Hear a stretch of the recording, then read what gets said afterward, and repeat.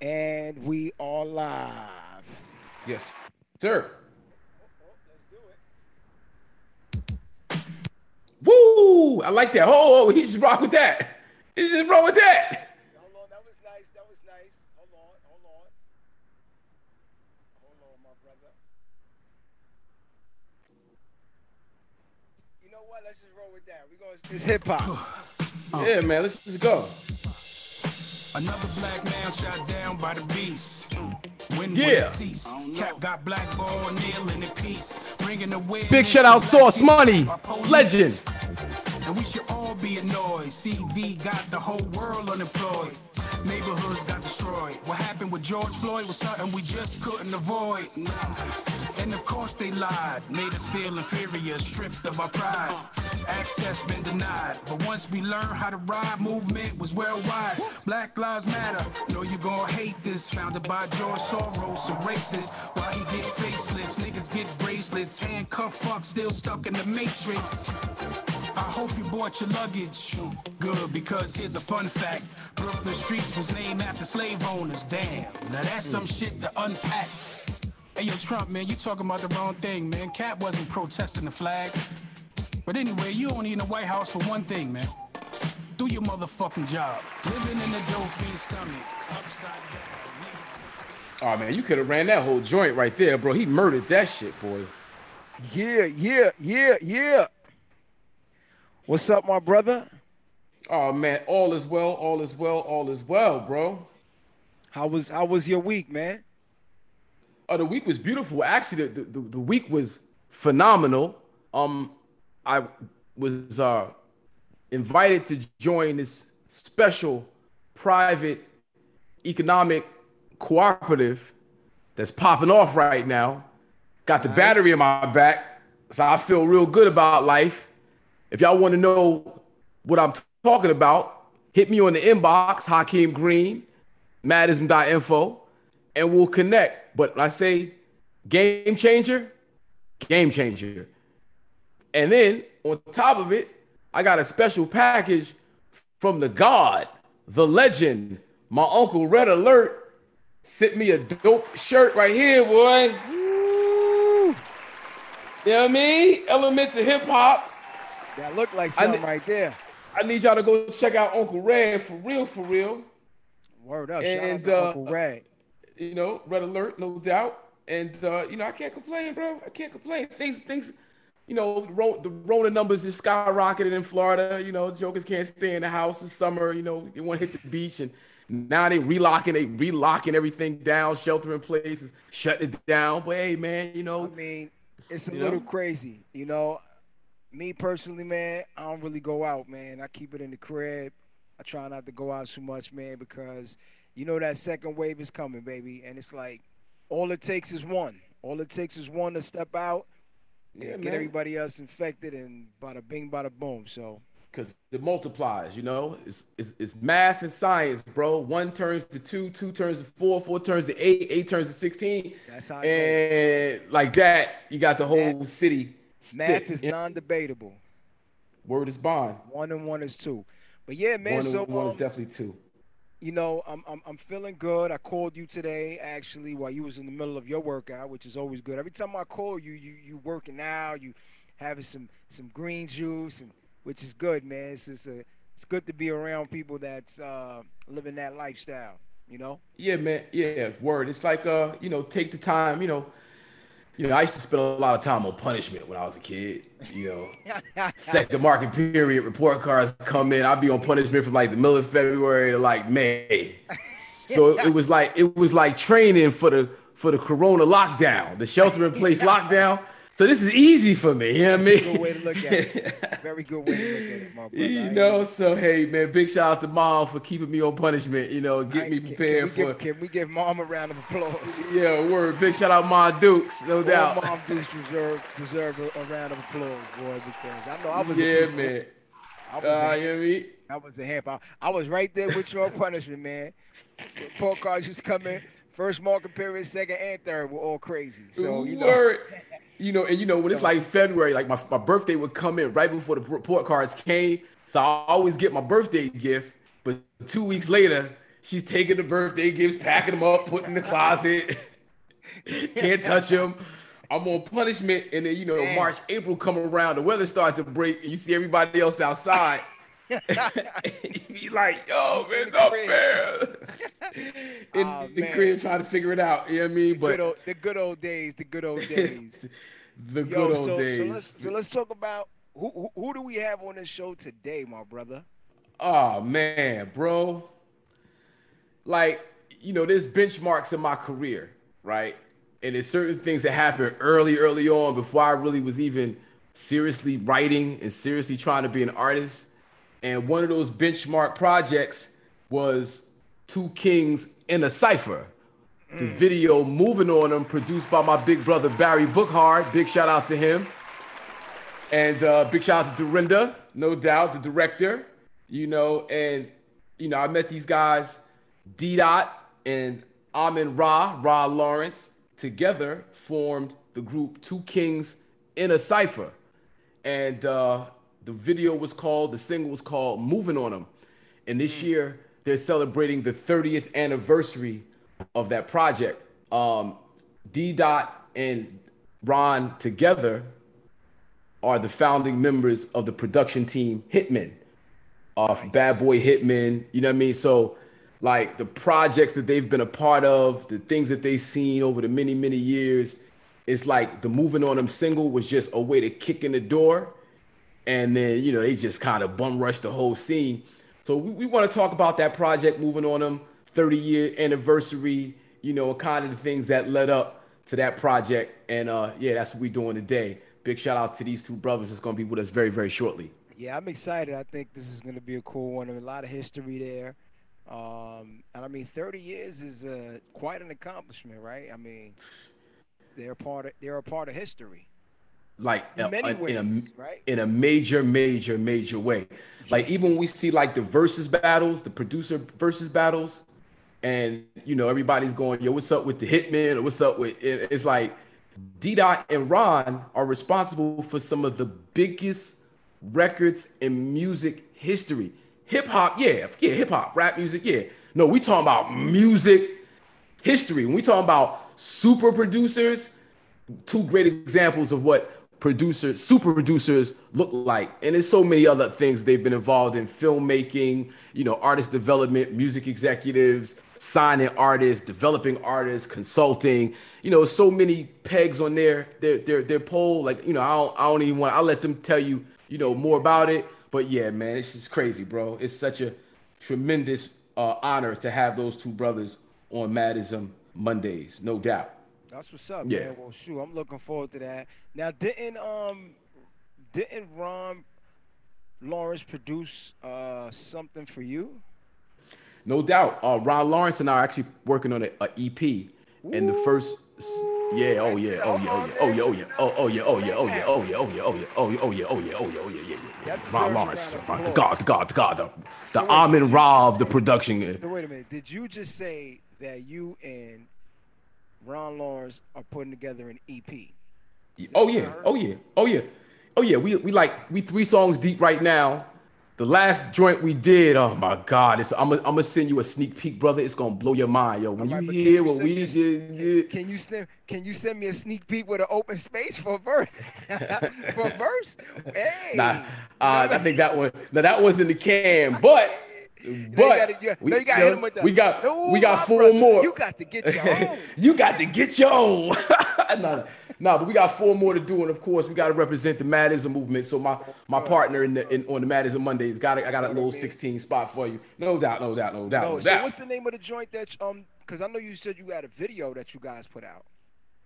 no, we, uh, we don't have a video yet. That's that's soon come. Once we Well, I, you I, I you figure out. a joint that's available on iTunes, right? I mean on uh. It's not even available on on, you, on YouTube. Yeah, it's called Niggonometry. Oh, uh, produced name. by Ron Lawrence, and it features Malik Yusef from Okay, good from, from good not good music. on uh, on YouTube yet.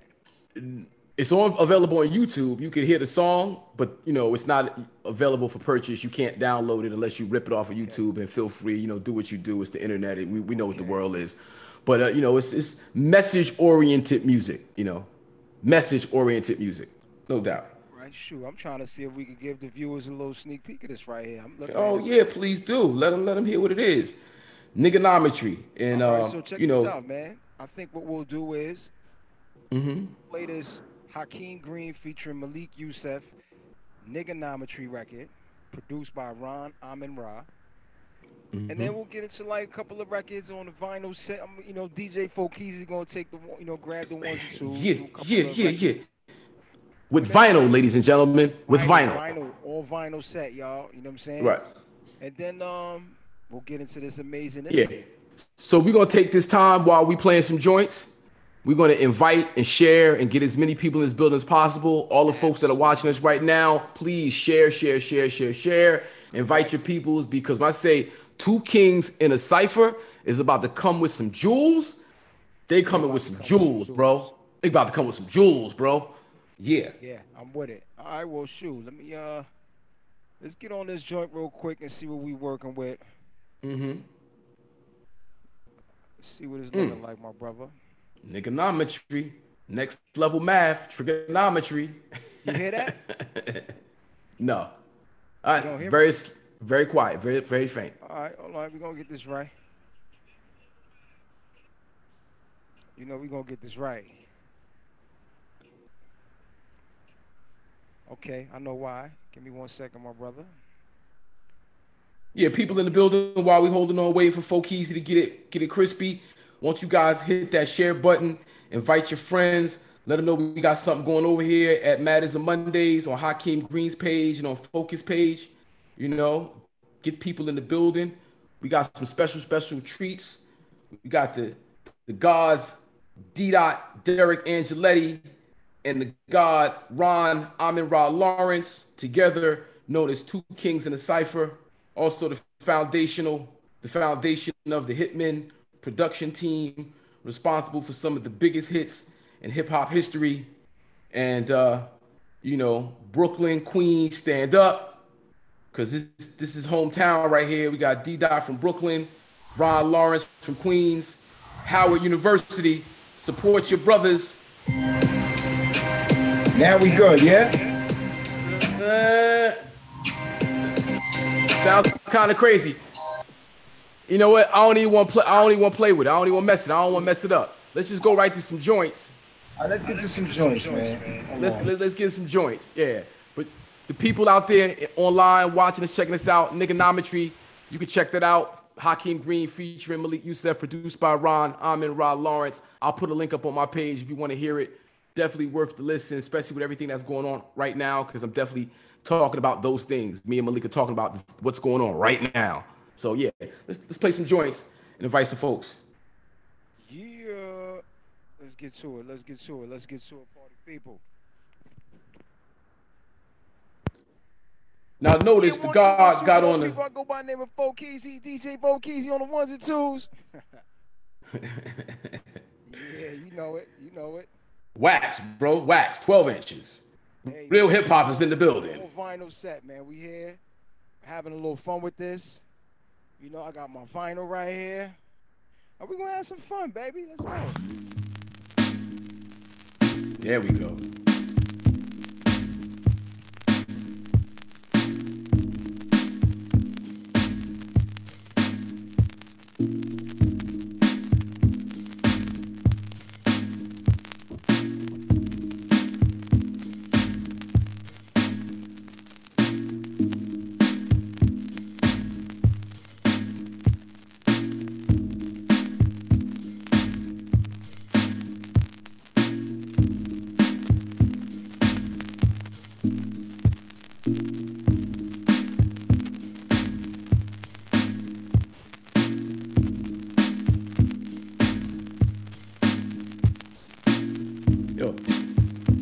Crackling in the record sounds so crispy.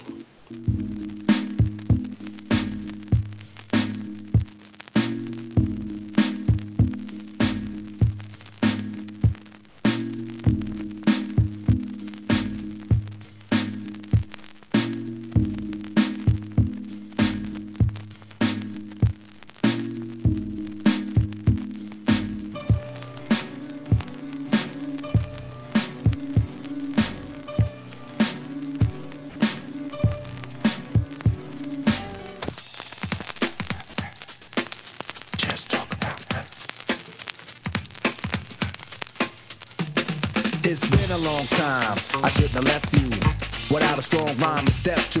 Think of how many weeks shows you slept through. Time's up. I'm sorry I kept you thinking of this. You keep repeating your miss. The rhyme from the microphone solo with. So you sit by the radio, hand on the dial soon. As you hear it, pump up the volume. Dance with the speaker till you hear it blow. Then plug in a headphone, cause here it go. It's a four letter word when it's heard to control your body to dance. So, dot text a tempo like a red alert. Reach it to reflex and let it work. When this is playing, you can't get stuck with the steps. So can say, and I'ma still come up with a gift to be swift. Follow the leader, the rhyme will go deaf with the record that was mixed a long time ago. It could be done, but only I could do it. For those that can dance and clap your hands to it. I start to think, and then I sink into the paper like I was ink. When I'm writing, I'm trapped in between the line. I escape. When I finish the rhyme, I got soul. Go Jersey, go Jersey, go Jersey, go Jersey, go Jersey. Army with harmony.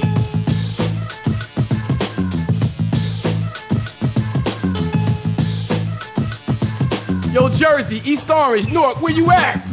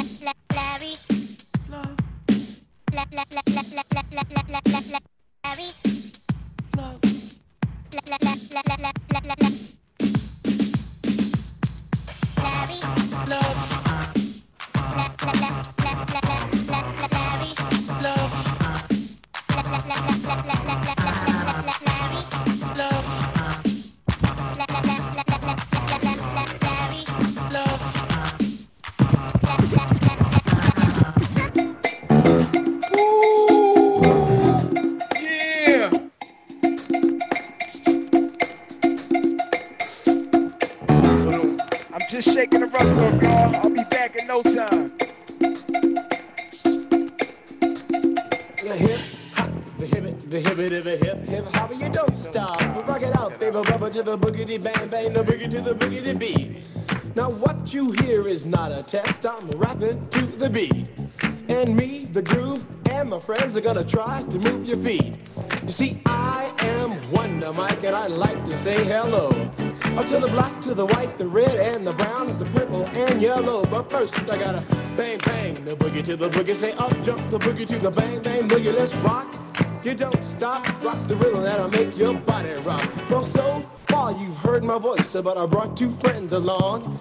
And next on the mic is my man Hank. Come on, Hank, sing that song. Check it out. When I'm imp the dimp, the ladies pimp, the women fight for my delight. But I'm the grand master with the three MCs that shock the house for the young ladies. And when you come inside into the front, you do the freak spank and do the bump. And when the sucker MCs try to prove a point with Trent's trio, or with the serious joiner from sun to sun and from day to day, I sit down and write a brand new rhyme because to say that miracles never cease. I've created a devastating masterpiece. I'm gonna rock the mic so you can't resist. Everybody, I say it goes like this when I was coming home late one dark afternoon. Reporter stopped me for an interview. She said she's heard stories and she's heard fables that are vicious on the mic and the turntable. This young reporter I did adore, so I rocked the vicious rhyme like I never did before. She said, "Damn fly guy, I'm in love with you." The Casanova legend must have been true. I said, "By the way, baby, what's your name?" Said I go by the name Lois Lane, and you can be my boyfriend. You surely can. Just let me quit my boyfriend called Superman. I said he's a fairy. I do suppose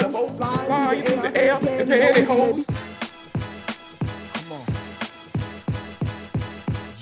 I've been focused. Waiting for cool, assassinated caricatures, mangling crews, deciphering the fraudulent from the real. You can't be caught without steel. If you do, the streets will eat your meal. So damn if you do, damn if you don't, damn if I won't. Bust my gun and jam hollow tips all in your throat. This is not a joke, Holmes. Tell me what you expect. I lose it all for the code, honor, and the respect. Easy on the set, bench press the weight of the world on my chest. The muscle tone alleviates all the stress. Paranoid perhaps when I'm smoking weed to the vest. My thoughts are clash with the sun that causes solo clicks. No ractic, neuralysis, and proper analysis. I battle with the beast and go to war with the savages. I crack more cabbages than delicatesses. My goal to stomp out the whackness and the back to the essence. What's my name? F-O to the. F-O to the K-I. S- F-O to the K-I. S- you know the best. Representing on Yeah. It's set up. It's set up. Yo, I get busy, get with me, get shifty. You glitzy, too ditty, I'm too gritty. 90s New York City. Big shout out to. Ed OG. Streets grizzly, so iffy. On point like Misty, not a ballerina. Big shout out to DJ Fokis on the one and twos. misdemeanors, chose hip hop instead of crime. Meticulous, go over lines, put in work in overtime. My peoples know the grind. Shine, you supposed to. Money getting closer. The toaster, bless human flesh like it's kosher. Do it for the money, do it for the culture. Never for you vultures. No Molly, no lean, never try to perk. Forget it how you get it in your line of work. Yeah, that line of work. When my mind asserts, spit lines of love or lines of dirt. Some words can kill, some words can hurt. Uh-huh. But my words show me how to avoid, introvert. Get money in exchange rates, how we convert. Businessman in a sweatshirt, put in overtime. Time is money, kid. MBS I put in work. I put, I put in overtime, Time is money, kid. MBS walks, I put in work. put in overtime, Time is money, kid. MBS walks, I put in work. put in overtime, Time is money, kid. put in overtime. Cause I be putting in I get your girl. that- uh. Yes. Uh. Shut up. Yo. Hey. World full of struggles, we bubble, see trouble, band PMD, That's that E double, power. peace sure y'all puzzles, your beef that. muzzled after brief scuffle. Don't try to give me five like a quintuple. Bam, bam, rowdy, Edo, been subtle, no rebuttal, no street shit. It's a E hustle. Bears we guzzle, see stars like Hubble, backpack, no duffel, no gun, bare knuckles. Shoot a fair one and run circles round the square ones. Y'all bullets stick to glass like air guns. Unprepared, the mic been commandeered, son. Fuck a freestyle, I write it, then I know the rhyme. Go for mine, open line, blow your mind, intertwine through the baseline. Every time we shine, we play to win, we don't play to whine. Push and fight till, till we reach our destiny. You're not ready for the raw deal. I need to fall back. I spit a raw rap, piece and Push and fight till we reach our destiny. Rookies haven't done enough laps around the track. I spit a raw rap, piece and raw rap. The hip hop you got and you uh, now, I mean, now. damn, it's been a long time. J illegal, snow goons. We back in the house again, and this time we bring in the army. Let's go. Snow goons, snow goons. Big shout out to the Snow Goons, DJ Illegal. Yeah, represent Snow goons, Europe. Where you at? Snow goons, snow goons, snow goons. You already know you gotta watch out where them snow goons go. It's the snow goons infantry. You already snow. What up, blood? What up, cuz? What up, Kicko? I tuck pistols, you tuck chains. We much different. I'm ignorant on the geniuses level. Throw my dick up in the short bitch's mouth so my penis is level. Listen, I had your baby mom lick the tip of my dick like 80 times. Came on the face. Bitch, pay me mom. Wiggle gigolo. Spit hotter than the who a twat. Get your shooter shot. Try to boss up and through the block. Overthrow the government. Kill the boss. Shoot the Push rock. Push plot. Push dope. Shoot the ops. Listen to gorilla twins. All gorillas militant. Them's excellent invention, but some killer shit. Mouth full of diamonds and all kinds of shiny shit. Shotties and nine millies for all kinds of grimy shit. Take that, run that, give me that, fuck that. I don't care who you call, you ain't getting nothing back. Turn the motherfucking lights out. I'll knock your motherfucking lights out. Got the snow goons and Coney Island with the gorilla. Fuck your life. Step your motherfucking bars up. I walk into the room, your girl gets starstruck. I fucking grinded for every single thing in my life. That's a fact. There's no such thing as hard luck. Rappers saying they harmed us. Must be lying. We don't make diss tracks, shots be flying. You could eat all your vitamins and pump iron. Still, your bitch ass wouldn't be as nice as I am. I leave bitches crying in a dark room. Huh. I'm on point like a harpoon. Huh. I'll smack a bouncer with a motherfucking bar stool. Walking through the crowd, give the guard room. Uh, snow goonery, flow stupidly. Bitch, I thought I told you there's no such thing as you and me. I moonwalk through your motherfucking wake and knock out the pastor saying your eulogy. Pussy. Snow goons, snow goons, snow goons. You already know watch out where them snow goons go. It's the snow goons infantry. You already snow, snow goons, snow goons, snow goons. You already know you gotta watch out where them snow goons go. It's the snow goons infantry. You already snow. Uh, yeah, fuck around and get your head bust. You are not a threat, you just set bluff. Talk a lot of shit when the feds rush. Snitching on your friends, running around like you the man, homie, please. You sex plus, I'm not to play with. I be all kind of flagrant when I'm fouling, ducking all kind of agents when I'm wildin'. BK where I'm from, one man, one gun, one bitch, one brick, couple strips for my ones. I be stunting on you niggas in my 2016, swerving through the lanes. Yeah, Flo, I think we ready to go, bro. Pearl white like Nas chip tooth, mint gleam. Drug dealer talking on you broke up. Big dreams, caviar for dinner over sushi at Fushimi, yeah. Eating with the Japanese, poly and panini squares. Every hot spot is Yeah, Flo, we ready to go, bro. Talking all this money talk, but homie, I don't see you there. Yeah, got shots for the foes, got knots for the hoes. Homie, I be on some other shit. Got blocks for the flow, non-stop for the dough. Homie, I won't hold you up a bit. Cause I'll be on some other shit. I'll be on some other shit. I'll be on some other shit. I'll be on some other shit. Uh, I embrace the struggle. A hustler's hustler. Hit the floor running like a Barney Rubble. A Fred Flintstone. You could get your wig blown. These young boys ain't playing out here. They let that thing go. No, this not a game. This is real life. This the ghetto, my nigga. It get real trite. They sling pure white and everything in between. You know the goal is to get to the green. The way I move and shake, they calling me Hakeem the Dream. Ooh, I'm a hater's worst nightmare. Post it up right here. Put that work in. Drop the hundred pounds like yeah, yeah. And now I'm feeling better than ever. Got a new plan, but I'm still the same. Applause, applause, applause. Give it up for DJ Fokis, y'all. Yes, yes, yes, Applause, yes, applause, yes, applause, yes, applause. yes. Yeah, what the applause track? We got the applause You track, what I no? mean? Hold on, hold on, man. Uh, Let me hold get on. this applause in here. Let me get this applause in here, man. DJ All Fokis right, is in the man. building. You all right? You hear me? Yeah. Yeah. You hear me? Yes.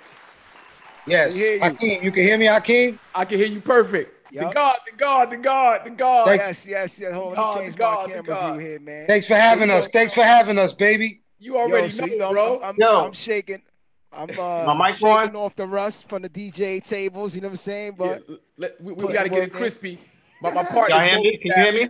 Yeah, we can hear you, Ron. All right, that's Oh, up. that's beautiful. I like the background. I like the background right there. I'm feeling that right there. Let, looking let them know what it is. Yes, sir. Word. Oh, you know, So- my, my partner's multitasking, so we just want to make sure that the setup is right, make sure that he got everybody on screen at the same time. Right. And we're gonna hop, we gonna hop right in. There we go. Right. So what's up, brothers, brothers? Peace, peace. Good.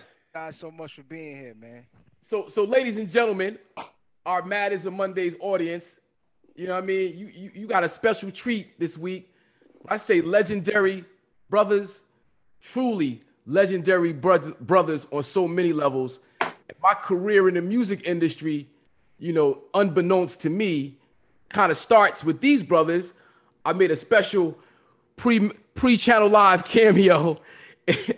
I was doing the Bart Simpson. I was the Bart Simpson in the moving on the video. We're gonna play that a little later, you know, so y'all can check that out. And um, you know, it's the God D dot Deric Angelettie and the God Ron Amen-Ra Lawrence, together known as two kings in a cipher. Make some noise, ladies. Yeah, yeah. Make some noise, baby. I need some more applause. Come on, folks.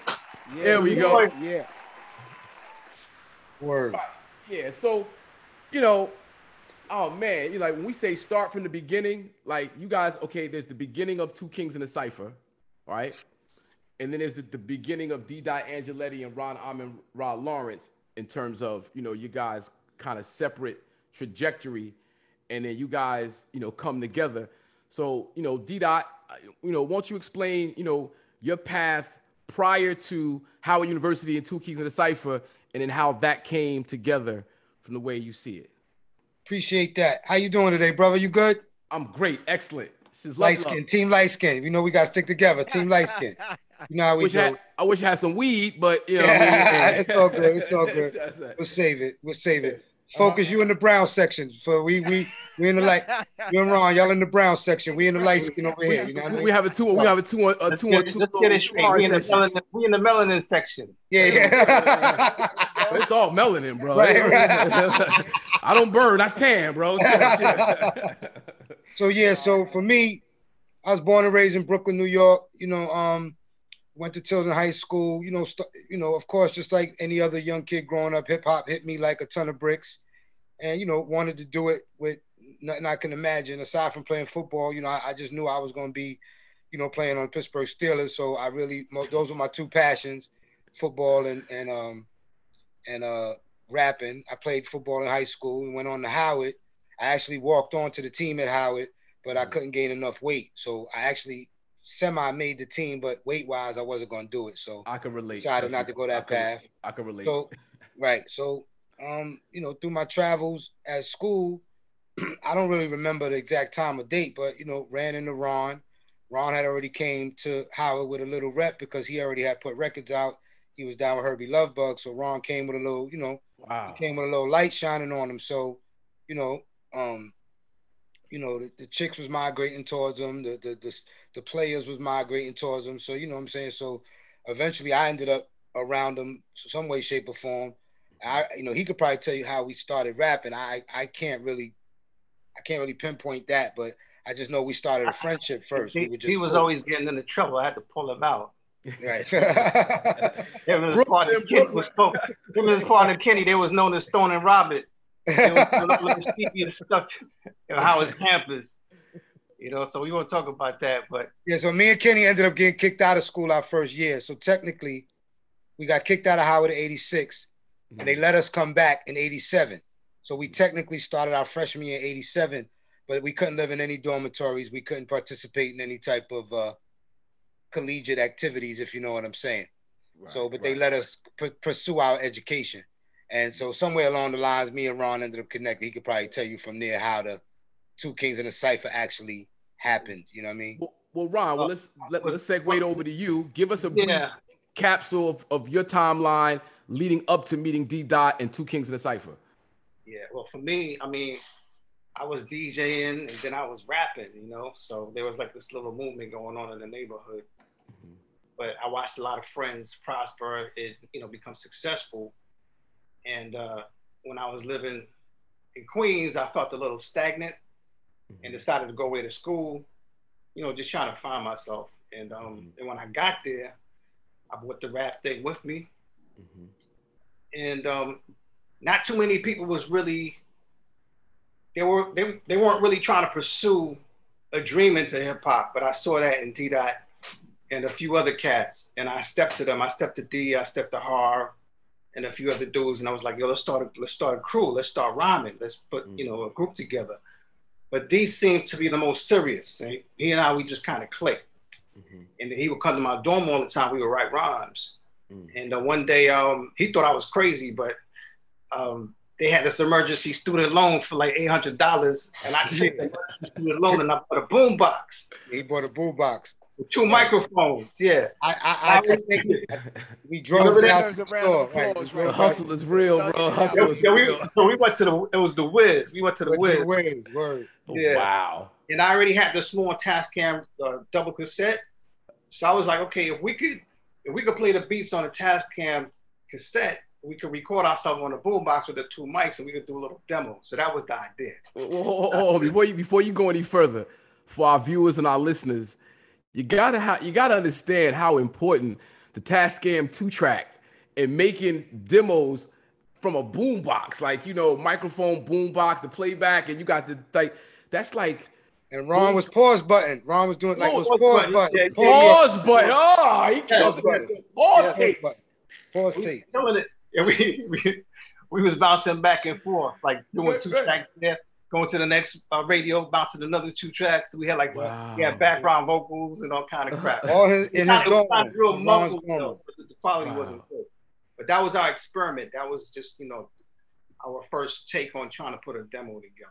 And we Right. made a record called our first record was called Short and Deadly.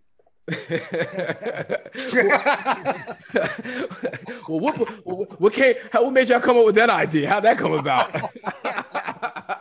Five, eight, five seven. We was just like yo. right, but yo, man, like, it, like you talking about groundbreaking moments. Like it's like you're at college, you hustling, you know, student student aid uh, checks, turn, you know, buying equipment in the college dorm room. You're there to study whatever major you guys had chosen to take on. But what was really going on was in the, in these rooms, you know, doing stuff that you know, if your parents knew you was wasting their money and time doing this, they probably have been upset. But it ended up turning into something real beautiful.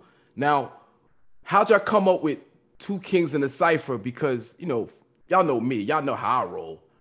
You know, especially at that point, 1989, 1990, 91. When I hear two kings in a cipher, it just resonated for me. So, how'd that come about? That idea of carrying that kind of torch. We was trying to be different. We was just we didn't want to do what everybody else was doing. Mm-hmm.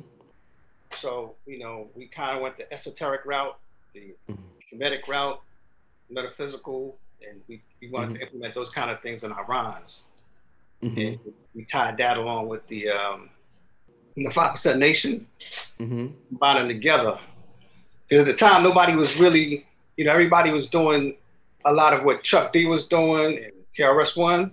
Mm-hmm. We kind of wanted to go a little left, but kind of stay in the same lane at the same time. Mm-hmm. Yeah, and and also, um, both Ron and I grew up in hip hop, so our foundation ultimately was music. So, and if you see, even in Ron even has the picture in the background. What we tried to portray was the past and the present, and these two combined would what would be the future would be like. Right. You understand? Street knowledge, book knowledge, knowledge, wisdom, understanding. You know what I mean? So we took a little bit of five percent nation. Now, mind you, while this is going on, we're in Howard University, which so we're getting the the black education 10 mm-hmm. times more than anywhere in Brooklyn or Queens or anywhere. Mm-hmm. We're associated with Ras Baraka and his movement in school, which was the mm-hmm. Nia Force. That's right. And, and what he had going on, and we can get into Ras later. Yeah. Our management, who we meet later on, Haq Islam, is mm-hmm. down with the Nation of Islam. Hold on, hold on. Applause, applause, applause, applause, please. Hit the applause button. Haq Islam, no doubt. Islam, right? Who's, who's probably tuning in right now? Yes, 'Cause I- sir. he- I know he, he he needs his name mentioned. So Haq A Islam. Yes, sir. Go to your office. Go to your office. Go to your office. but anyway, you combine all those things and put them in a pot. That's two kings in a cipher. You know what I'm saying? Like, um, at the at the moment, it might have been a little bit too much or too little. We didn't know. We were all new to the game. But this is the best We were a thing. little- I, I think we were a little too much, but it was cool. And I think we was a little, we was a little bit ahead of our time. Yeah, yeah. You know? Yeah, maybe early But instead of too I mean, much. You know. I, I think when you look back at it now, everybody knows Amen-Ra. Back then, nobody knew what Amen-Ra was or D. Right, right, right. Prophecy. Nobody knew what melanin was. Nobody knew what cipher was. You know, But we what wasn't saying? talking about it in records. You know, Mhm. like it, it wasn't getting talked about in that sense. And even Public Enemy, even X Clan, and the different people that we were in the mix with, poor righteous teachers in this time, ours was actually trying to be a, a lesson, so to speak. We even, you know, it's funny. I saw the Roots. I want to give them props because they did this educational thing, the cartoon. Mm-hmm. They did the, the Schoolhouse Rockover. Ooh. Well, Haq Islam and Mr. Kenny Gamble, and back then there was a Jocko Henderson. Um, oh, that was his name, Jocko, I believe, from Philly. He was doing educational pieces back in the 80s and the 90s. So Ron and I even participated in teaching kids math and history back then by doing records. We did a record. Our goal, I, I, our goal was always to try to teach as best as we could. My mother's a my mother's a doctor. She was she's a doctor of education. She's a principal my whole life. So I come from that. Right. You know I'm saying I believe Ron's somebody in Ron's family comes from that as well. My So- mom, my mom was a was a was an honors math teacher. Yeah. Right. His mom was a teacher, so we both had that in us, regardless whether we were making records or not. There was going to be lessons coming from whatever we were doing, and it just Mhm. so happened that rap and hip hop was there. So we figured why not combine both the And, skill. and what ye- what year was this that you doing educational rap for young folks, like putting the educational rap? 91. As soon as our album dropped, 90, 91, Wow. and 92, those were our two Kings we, in we came together in '88. We came Mhm. together in '88. Yeah, we got together in 88, right. Single '90. Yeah. Right. Hmm. Wow. So, all right, you guys, you know, you're doing the, you're working together, putting together the demo, you formed the group. You know, what got you to the record deal? What got you to that? You know, okay, we could do this. What got you to that? Um, How'd that happen?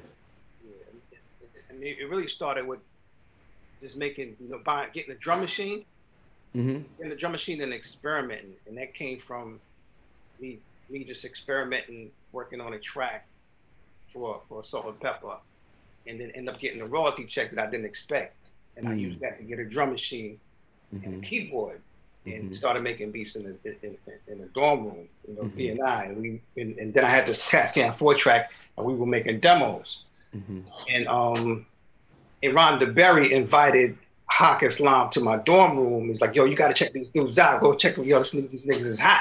Ron Ron DeBerry.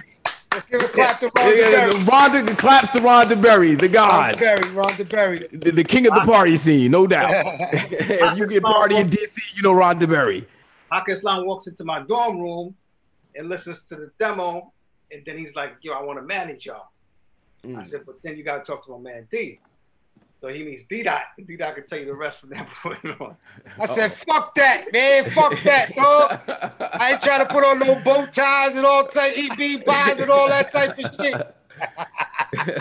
Well, you know, not, t- but Nah, no, nah, but Tell them why you mad, son, boys.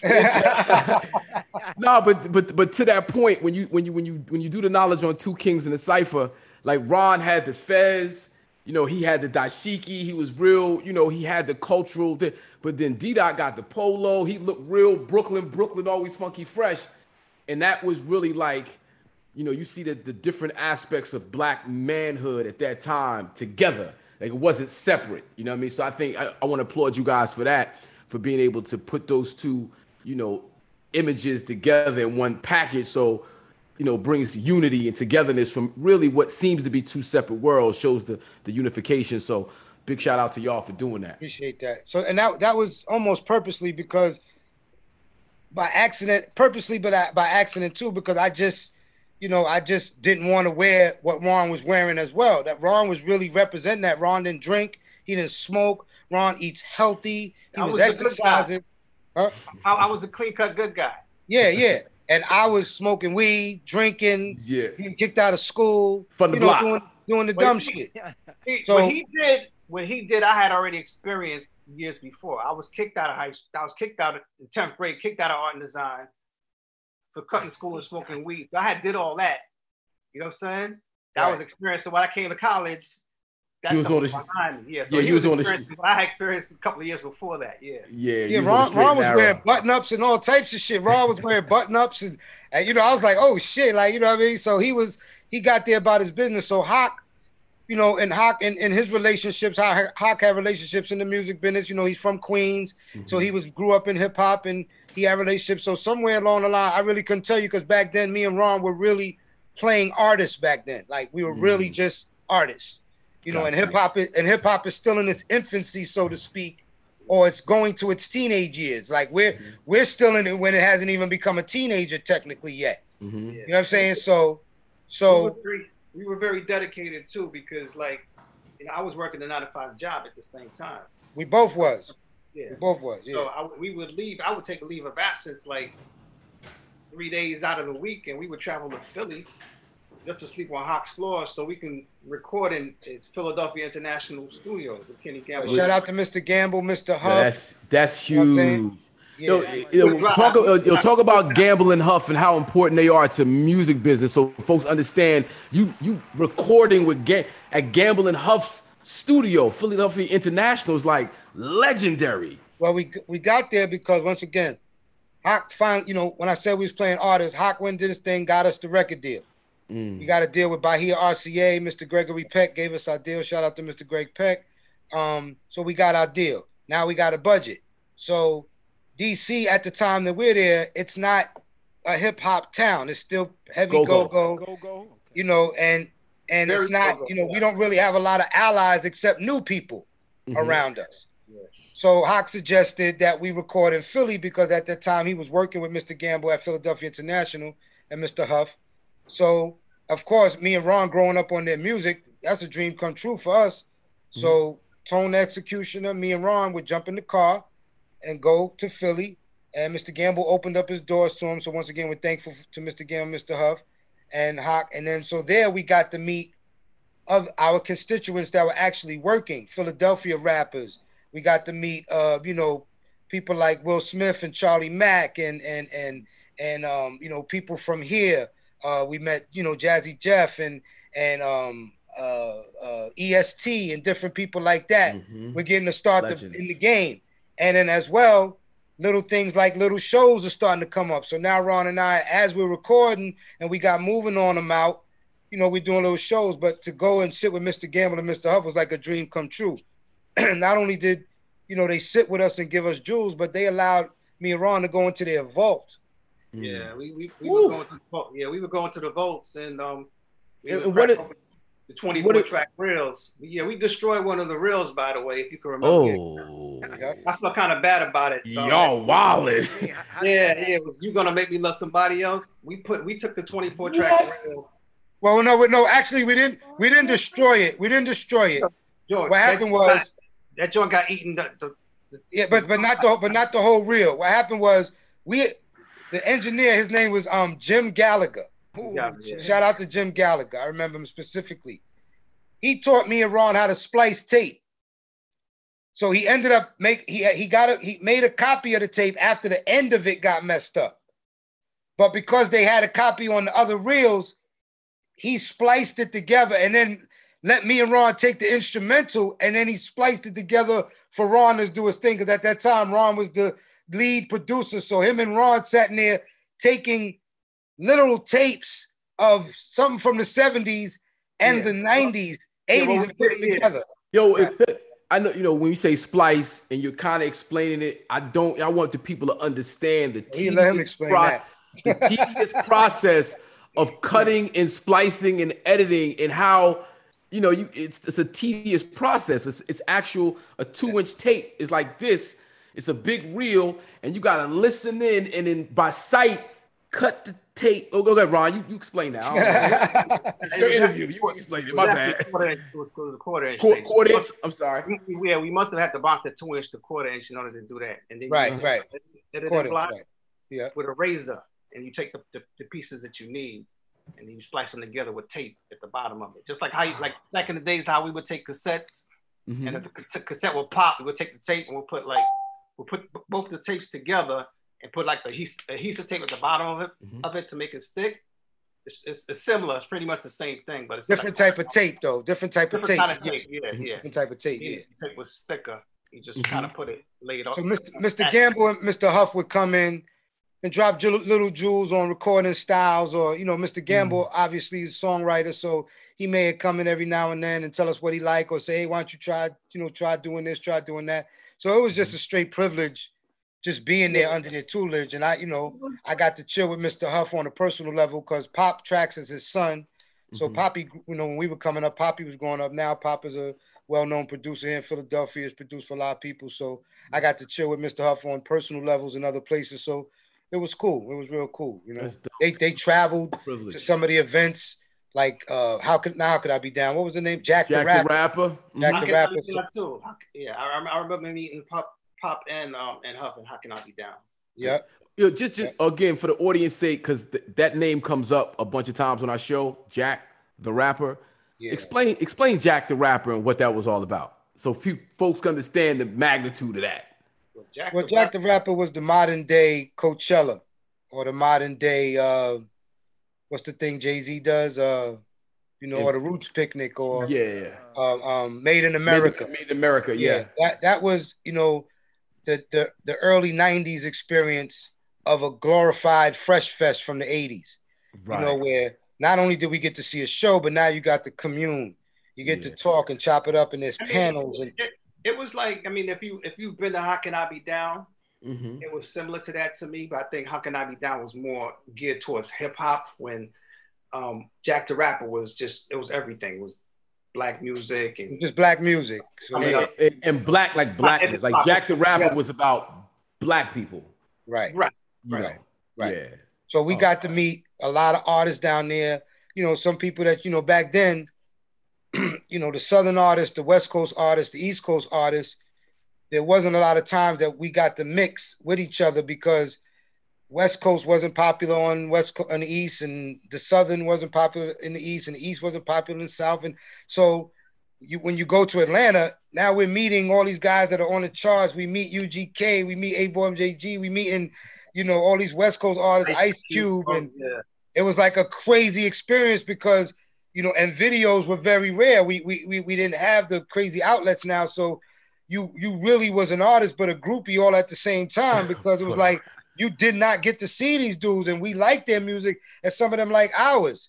You know, like one of me and Nas's Nas, the the uh, Nasir Jones, one of our stories together is on Howard University's campus during one of the events that Haq actually threw, um, the, the hip hop conferences in DC, which was 91, 92, Yeah, I remember those. around this time. Um, Pac walks on campus and says, Yo, is that Nas? And me and Nas are standing with each other. So he gives Nas a, a pound. And then he looks at me. He doesn't know my name, but he Mm. looks at me and instantly goes, For the brothers, the brothers away Uh-huh, here. uh-huh. Starts singing our song. He knows who we are. So introduces ourselves. So these moments, these conferences were real important because before the cell phones and before all this internet stuff, this was the only way we got to commune aside from doing shows together Yeah. and chop it up and do stuff like that. So Jack the Rapper was very important to the culture at that time. You know, you don't realize it now. I mean, you, I mean, you really, didn't- we you didn't realize realize- now, right, didn't didn't, but now right, You yeah, yeah, then. uh. But now it's like, damn, we didn't have cell phones. We didn't have internet. Me and apologize. Me That's and good. Ron, me and Ron had to um, you know, we had to drive ourselves on our tour. So we actually had a map Mm. to get down south. We had to drive a Not, passenger not, van. not, not Google Map. No, not Oh, Google got- Maps. No, a An map. Actual map. Yeah, That me, Ron, from the our gas security station. guard. Go ahead, Ron. I'm yeah, sorry. we got the actual maps from the gas stations. Right, Right. right, with the gas stations, right? with the gas stations, right. You go to the gas station, they got like a, a whole catalog of different maps and state, And we different didn't have no state. tour bus. We had no tour bus. We had one of them Ford vans and shit. We had a passenger van that we had to take van. the seats out of to go Yeah. on tour to put our Mm. luggage and we could sleep. So we didn't even have a luxury van. We had a passenger van that sits those three rows of seats, and we took two seats out and left them in our house. By the time we went on the road, me and Ron and our DJ and our man Kenny all lived in the same house. So we left the seats in the house Wow, that's with Kenny until That's we got back. It's crazy. We rode the whole country in that van. Yeah, we toured the, and drove ourselves. We toured the whole Wow. country, but we had to drive. We had no driving or nothing. We had to Right. drive Now, now, now, when we say, you know, when we talk about the time when the culture was pure, this is the time we talking about. It's these types of experiences and, to- and stories where you could just, even though it's 30 years removed, you could still, for me, I could feel what you're saying. I, and I've lived that life. I've seen that. I could, the whole idea of renting a car, minivan, and taking the seats out and leaving them in the house so you could pile in and go wherever you're gonna go to. Uh, yeah, but it was different. It was different for us because we didn't come from a we didn't come from a company that had a lot of money. Like we, Mm. we were like really on a budget. Mm-hmm. We were dealing with situations where we would walk into stores and and we just, and it would just be like one CD in there, Mm-hmm. one CD. Mm. Like the, and it was because the record company wasn't putting a lot of money behind this. So you'd have like 20 people outside waiting to sign an autograph, and we could only sign one CD. So Wow. one CD, and that was it. No, you, uh, So it was almost like we were set up to fail in a sense, but you know, for the for, for the folks to understand, because right now that there are no more like record stores, right? But it costs money to put the record on the shelf. So you know, when you say there's only one CD on the shelf, is because the record label has a, a budget, a, you know, a, re- a distribution budget or retail budget, and if you know if you're not really in demand, they're gonna, you know, uh, But, well, but, al- but also take into consideration, this might have been Little Rock, Arkansas, too. yeah, This yeah. might have been Nashville, Tennessee. Right, Where they ain't know what the hell two Ki- what the hell is this two kings in a cipher? What is what is this crap? So there's no reason to put 10,000 CDs down in Little Rock yet. Right. So you got to take that in consideration too. But yes, there were times we went to places. I remember me and Ron went to New Orleans. We went to some backwoods place. It was an AM station. Remember back then too, every FM station didn't even play hip hop. The rap, yeah. We went to an AM station and we had to walk over a swamp to get there. Ooh. yeah, but you, yeah, but you would think if they knew that we were coming, you would think they would stack, stack Right, it up. with some right, CDs. right. But it didn't happen like that in those days. So we had to suck it up and shit like that. But yeah, but you that, that's building that's the what was culture. going on.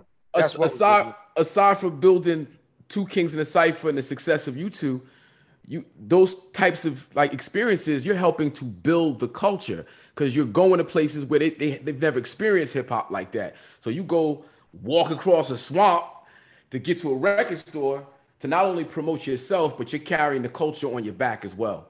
And you know, it's important for folks to understand that like nothing's given. Even today, what we have today was built on nothing.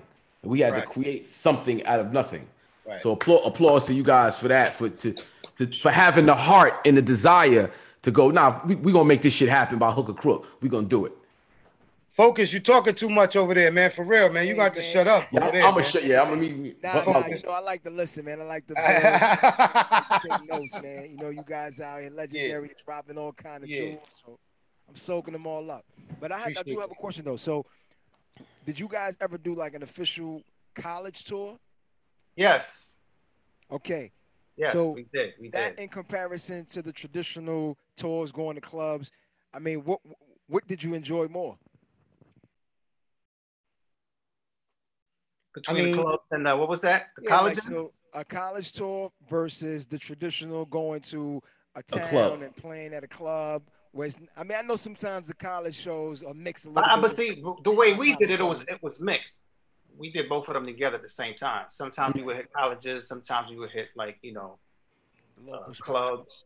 Yeah, it depend, depend on what we had on the roster, what we had on the itinerary. Mhm. So that one particular state, we probably hit a club, and earlier that day we, would- we would hit a college. Mhm. Yeah. So and now I say the colleges because the colleges, number one, you know, a lot of people didn't know this, but I learned this shit that the colleges they be paying. You know what I'm saying? So you could be a quote unquote no name, as long as you in with one of these uh, groups and over there. You know what I'm saying? Align yourself properly, and you get yourself a little show, your little five hundred, little thousand dollars. You know? So it's just. yeah, I don't think we even did. We even get paid on tour, D. When we did I mean, this that, particular, was, this was particular tour like- was no, we didn't get paid at all because it was, It was it was a promotional. promo tour. yeah, it was a promo tour. Yeah, so we didn't get no money from that. We didn't see We didn't no paper. But you know, in the moving on, you know, later on, we get paid for shows, we doing things. But so when you first, you know, for, for people that know back then was, you know, you have to almost hit the road prior to the record exploding.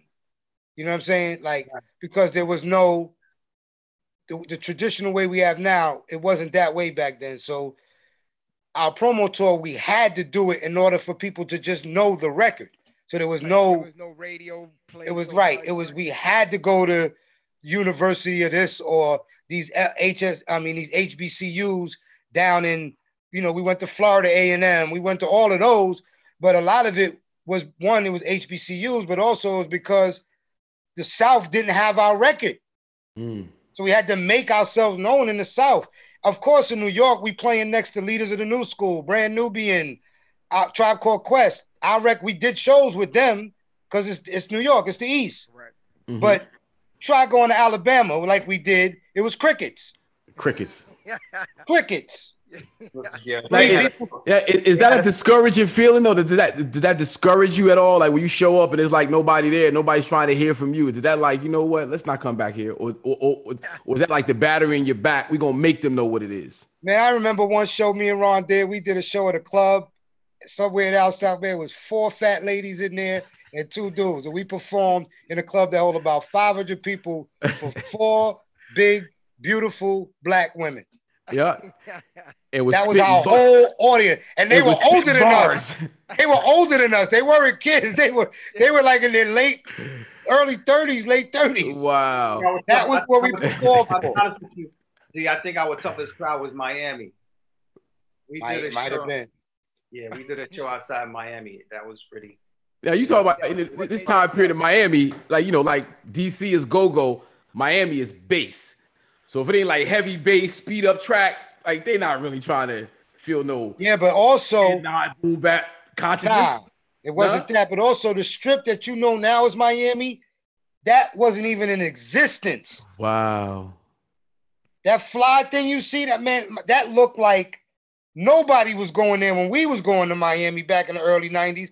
It wasn't until Nori's man, what's his name? Um, FN, DJ EFN. DJ EFN and them guys start doing pirate radio. When me and Ron went to Miami, we was Mhm. on pirate radio in Miami. On the bus, right? On the yellow bus. That I don't even know about? it was the yellow bus, but in the 80s, I think it was near the water somewhere or something like that. Wow. It was pirate radio. There wasn't no hip hop. It was pirate radio. And we say pi- that whole ocean. I'm Uh, sorry, that whole Ocean Ave was It was disgusting. Nobody was on that. That wasn't even there. Mm. That didn't happen till that didn't happen till you know, I don't know when that happened, but it wasn't during the two kings and the cipher days. that's crazy. Yeah, now, now we, when we say m- making something out of nothing, these are the stories people need to hear so they understand what it was like for our generation coming up. Yeah, it is the culture, but then there's the business of it. In the business of it, we had to kind of create the, the market. And you guys are creating the market. You guys are going places where there is no hip hop, no rap really. And you creating it. And uh that's that's that's that's a uh Fokis. You you got any uh, other questions you want? So, yeah, so there you the go. album, so the album, uh, Ron, did you produce the entire album, or did you guys both produce the album, or did you have outside production as well? Nah, there was no outside production. It was just Okay. strictly in house. Now, at that time, what was your weapon of choice? What were you guys using? MPC 60. Mm. It was MPC 60 and the ASR 10. Mm. Ron, Ron, Ron produced the whole Two Kings and the Cipher album. That was his job back then. He was, you know, I didn't even know how to use a drum machine back then. So that Ron Mm. did, Ron produced the whole album, you know. Um, and for me, that was it was school for me because I had a lot of ideas, but you know, to make it come to life using your hands is a whole different, it's a whole different animal. Yeah. Yeah. Yo, Fokis, you need to turn your volume up a little bit, bro. Yeah, Actually, a well, lot. Yeah, turn your volume up, Fokis. I'm sorry. hold on, I'm sorry, guys. Me and Dad, we had a we had a very good chemistry. You know, so we would always, no matter what we did, we always bounced off each other. Mm. Regardless if I was on, if, if I was pushing the knobs or whatever, you know, his ideas, whatever it was, it came together and it was it was a complete, you know, a complete mesh.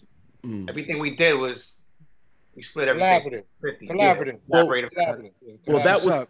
That was school for D Dot, but what was school for you, Ron? How'd you learn? How did you pick up the bug of production and Yeah, getting well, that, involved? to me, in that, that was level? trial and error, really, because I didn't like D would tell you. We never read manuals. We just kind of just we The just hit box up and started started playing with the knobs and buttons. stuff like that. Yeah. So, I would say my study came probably from just watching Hurby Luv Bug and saying that you know I could do that. Wow, Hurby and Love be Bug. successful, yeah. Because he was the first one that I, that I saw with a drum machine, really. What was he using? Um, he used he had the Roland Roland drum machine. He had the SP12. Um, he had the Dr. Rhythm. I think that he had that one first. But then he had the small sampler, the small sampler that he got from that he saw Marley Marl using. Uh, I think it was called the Instant Replay, and it Mm. sampled like maybe a half a second. And Marley had that drum. Marley had used their sampler to do the um the Marley scratch. It sampled, I think maybe it sampled like a second, but you have to speed up the record. That's like the um the SK1, the little small little SK1 Casio Yeah. joint that you. So that instant replay was what Hurby used to do the showstopper. And I watched him, you know, going from that to the Roland 808 and then the Uh, SP12. You you said you saw him you, wa- you watched him and saw him. Showstopper. You know, you you you saw Kid 'n Play get developed. You saw Salt-N-Pepa how that came together. You were there for it. You expe- like, you folks need to understand like your roots and your history. That's You know, what he and came to Howard with. That's what yeah, he came I did, that was my education. Right. Pretty Come much. Yeah. on. I, I, I brought that along to school with me. You know, Right. so that was a thing in me that was embedded in, in my mind. And I knew I wanted to pursue the dream of hip hop. I always wanted to pursue hip hop. So coming to school, that was the way out. But my dream was to be successful either as a rapper or a producer later on in life. Yeah. But Mm. coming into it, I really, I, my desire wasn't really to be a producer. I just wanted to be a successful MC. Mm-hmm. So that was going to be one of my next questions. Was when you look back at it now, like what do you guys enjoy more? Like take the money out of it. What did you enjoy more? MCing, production, or I mean, I guess both. But which one would you, you know, would, did you enjoy more? Honestly, take the money out of this. I'll be honest with you. For me, when I got a taste of being a rapper from Two Kings in the Cipher, once I got a taste of that, like that was it for me. I was like, you know what? I think the production thing would be better suit for myself, and I could relive the dream that I wanted to as a kid in another rapper like Notorious B.I.G. Okay, but why, Hmm. why, what, what made you say that? I mean, just dealing with the hardship with Two Kings in the Cipher, the experience that I had on the road, But from an artist, being a rapper and just knowing what you know artists have to deal with. I mean, sometimes I didn't want to have to sign autographs, but it's like when you go on the road and when you don't feel like wanting to sign autographs and, and, and not being bothered, you have to kind of put on this this facade like you're somebody else, and so people can like you, even though if you don't even want to be there. You have to be somebody else, and you have to show the public that you are this person that's loved because you don't want the next person to come back and say, "Oh, this this dude, you know, he had a bad attitude," you know. Mhm. And then sometimes I couldn't differentiate the two when, when I was put in that position. D did it, did it better than I did, but sometimes I, you know, I felt like I didn't want to be in a situation where I had to sign an autograph sometimes, or I didn't want to, you know, Put the face on. be on a road for a long time. That that just wasn't me. I didn't I didn't enjoy that. Okay. Right. And How about you, Dot? Yourself, man. How, when, when, first of all, when did you get into the production? Um, I got into production by force. Um, Same here. um, because um, uh, once Two Kings in the Cipher, we disbanded in 1992 or 93, whatever year that was. Um, I stayed in DC for a little while. Ron was still in DC. But then I decided I got to pick up and go back to New York because DC wasn't it for me. You know, uh, that same year or maybe a year later, Ron picks up and goes to LA. So now we're separated by 3,000 miles. Wow. And um, Ron has always been advanced technologically, meaning he always had the new gadgets. So by the time he got out there, he got drum new new things and new toys he's playing with. So Ron was the first person sending me DATs of beats. You know what I'm saying? Dat. Dat- What's a dat? What's a dat? A DAT is a, Digital a audio tape, yeah. it's an audio tape, Digital but that's audio, what we used to have to send music on. It was bigger than a cassette. It hold more time than a cassette, and you could, you know, and you. So that's how we started transferring stuff. It was better quality yeah. Right. better quality. So, um, but once again, I'm not there with Ron, and Ron just told you from a collaborative standpoint, a lot of times it was better when I was there. So what would happen is Ron was It's a sending a lot of- y'all. It's a dat, y'all. Oh, there you go. There we go. Yeah, that's a that. Yes. There you go. Perfect. So, um, Ron would send beats sometimes, and I'd have comments about him because I'm a rapper. So I, I'd want him to move a certain way, or I'd want this and that. But if he's sending 45 or 50 of them, or 20 of them at a time, he can't adjust every single thing that I want. So I said to myself, in order for sometimes for me to give him the idea what I want, I'll just do it myself mm-hmm. because I wanted to move a certain way for the rap part of it. You know mm-hmm. what I'm saying? And then it was sometimes where I'd have to do nothing. I would just spit over it and, and do stuff like that. But I wanted to still be an MC. So to answer your question, to me, being MC was I always loved being an MC better because it was it was more creative to me because once I finished writing, now you get to go show the world what it is. The drawback from being a producer is that we don't get to enjoy the, the fruits the same way the artists do. Mm-hmm. So, like, no, he- he's right. Well, Yeah. well, I don't know about that he said take out, he said take out the money. Do all this hard work. I did say He take said out the take money. out the money. He said take out the money. right, right, So- that's right, that's so- right. If I don't tell people I did the Benjamins, those guys get to perform that for the next 40 years. Yeah, Each Right. one of them separately. right. Puff could do it by herself. Kim could go do it by herself. All these artists get to enjoy the beauty of our records, and we just disappear to obscurity. So that's the drawback to being a producer. So now I see why Right. the Teddy Rileys, the Puffs, the Pharrells, and the Timbalands, they made themselves a part of the records. Mm-hmm. That was really the only way for your legacy to continue without credits. Correct. Because now there's no reading anymore. Mm-hmm. There's no physical credits for you to read. So if somebody don't get on the track and say dee da dee da dee da, you wouldn't know I did it. Right. Right. Okay. So what was your weapon of choice when you started production?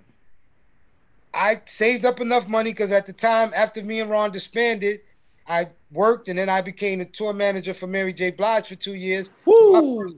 First thing I bought was Wait a minute. The first thing I bought was You're uh, moving too fast. Let's rewind a little You're, bit. you're moving on him right now. You're moving on him. So you Well, I was was just telling you at that moment. That's how I was. I bought an MPC 62, and so I called Ron and said I got an MPC 62. He had already graduated to the ASR and something else, and you know Ron is gadget guy, so he had all his old discs just sitting around doing nothing. So I said, "Yo, send me all them old drum sounds and all that other stuff." You know what I'm saying? So, like for example, the Benjamins has Ron Lawrence's drum sounds in them. Some of them. Because that's all I had. Mm-hmm. You know what I'm saying? Because back then, in order for Ron to build up his beat catalog, he had to sit there on records and take a snare himself, sample it, edit it, and put it to the side. There was no catalog he could go buy with a thousand snares, a thousand kicks, and a thousand snares. So this go get it this guy himself. got so this disc I got had his time of sitting up there, each hi hat edited a certain way. truncate, do this, that. Yeah. So I got I got 60 of those to choose from. Okay, I'm gonna make all my beats with these 60. Fuck it. I ain't got time to do what Ron is doing. So my first 40 beats had all of them sounds in them. Until I realized, oh, okay, I know I can manipulate this one. If I combine these two snares, I can make a new sound. If I combine this kick with that sound, I can make a whole new feel, a vibe to it. I can I can tune this 808. I can do this. So that's where my lessons came from doing my own. Oh shit, this what this this what this button does? Get the fuck out of here. Oh wow. I can turn the timing correct off. So my shit is not always Right. if I want my shit inside that little pocket, I can turn that off now. Wow. So that was my lesson. You know what I'm saying? So your your first beat, your first beat, Ron, when you heard his first beat, what were Oh, you, wow. did you like? Oh, this is fire, or you was like, eh?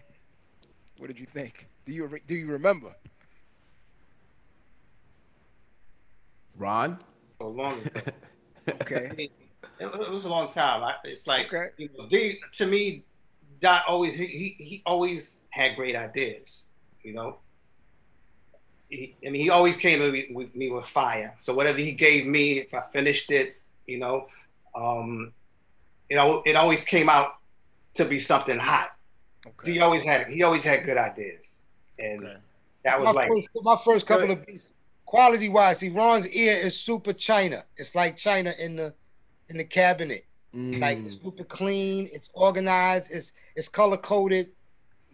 My sound was nasty. It was clips coming off the sample. Brooklyn, You can baby. hear the, you can hear the kicks clashing with each I would other. pretty much yeah, but I would clean this stuff up. Yeah, he much. would clean it up for would me. bring- he would bring it to me, and I would tighten it up.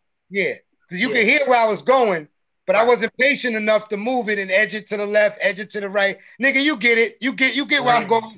You get where I'm going with. That's how we, All and that's how we bonded. That's how we bonded as a team. Yeah. Dope. Yo, man, this this conversation right here, yo, I'm such a hip hop fan right now, and just to hear you detail these experiences about how you grew as artists and producers is like, yeah, I'm almost in tears, bro. But the- you know, funny It's thing was- phenomenal.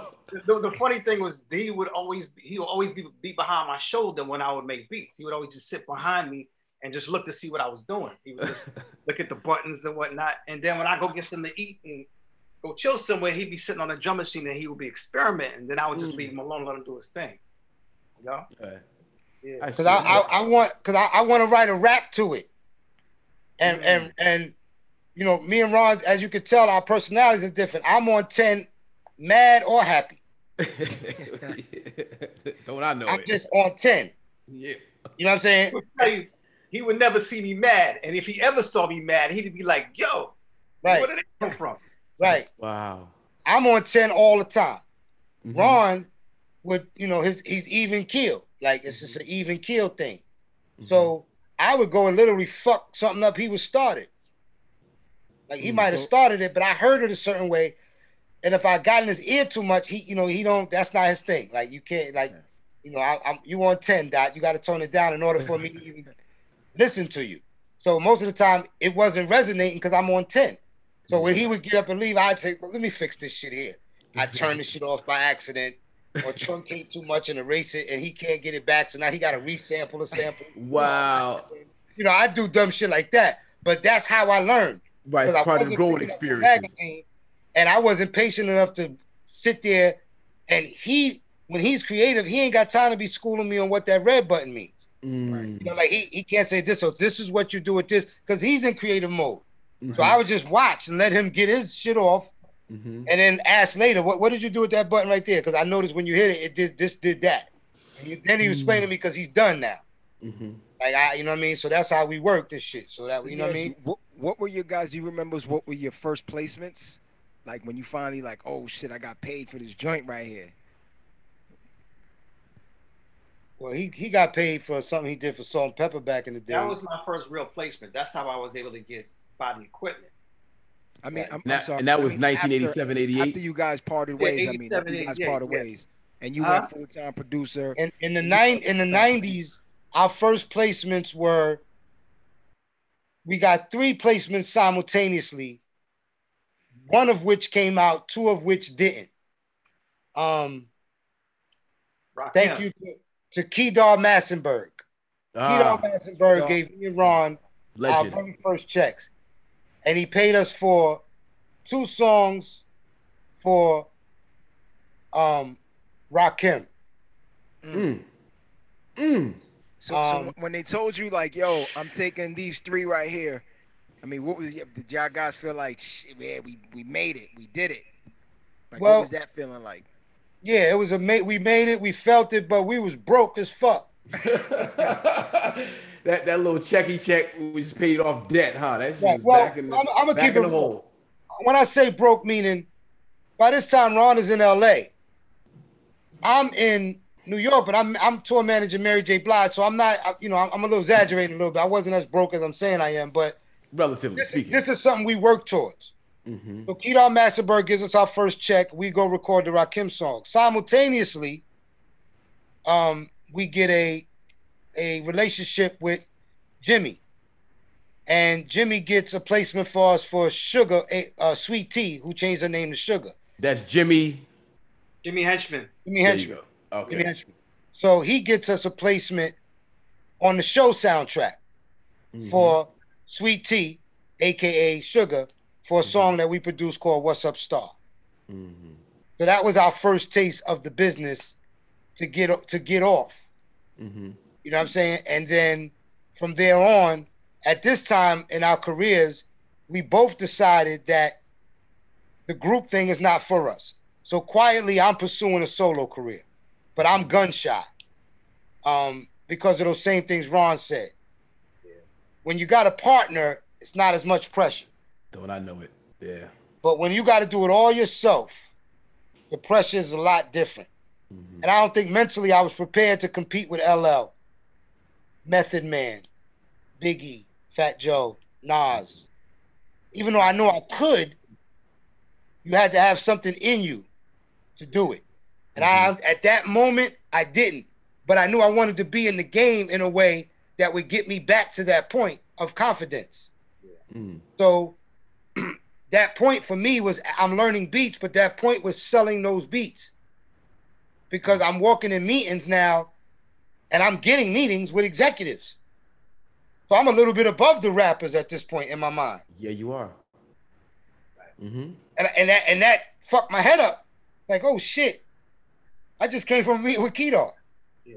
So Like, oh we- shit. I'm sitting in a meeting with this dude over here, this dude over here. I'm not, they not looking at me as a rapper at this particular stage right here. I'm Mary J. Blige's tour manager, and I and I got some beats to play y'all. And that's amazing that you were Mary J. Blige's tour manager. Right. Like that's amazing to me. And that and that and that. So now I, I started realizing, you know what? Maybe the rapper thing, I shouldn't go as hard as it because I might have a potential to make more money or just as much money or more money this way, executive mm-hmm. producing wise. You know what I'm mm-hmm. saying? So, and I think once I got into to that to that comfort zone, it was much more easier for me to maneuver in the game Mm-hmm. because I'm walking in spaces super confident. So when I walked in that studio, and I and I reached out my hand and introduced myself to Big, he said to me, "Oh, "I know who you are. I used to watch you and Ron on, on music on video music box." But now my confidence is like, yeah. I'm an OG Yeah. now. I Yeah. manage Mary J. Blige. I work with Bad Boy. Me and Ron are historic. So my confidence level now is at a different game. Because Yeah. I felt like if I was just doing this, this is all they would have to judge me on. Mm. And if it wasn't hot, I'd be I'd be driving a bus or back Mm. collecting tools when I got kicked out of school. Mm. I'm a toll collector. Now, you know, you guys were, you know, you talked about wanting to be in the game and then being in the game. And then you get to a point where the two of you together and separately changed the game. How was that feeling and experience to be in a position where you see everybody else start to mimic your style and mimic what you're doing and checking for you before the project come out? Well, you know so and so was a part of that. You you know, you know so and so produced that, and it's like it's a whole different thing than wanting to be in the game, being in a position where you're actually literally changing the game. I mean, it, it it was healthy competition between the both of us. I mean, partners, and you know, just having to be able to have our second minutes, fifteen minutes of fame.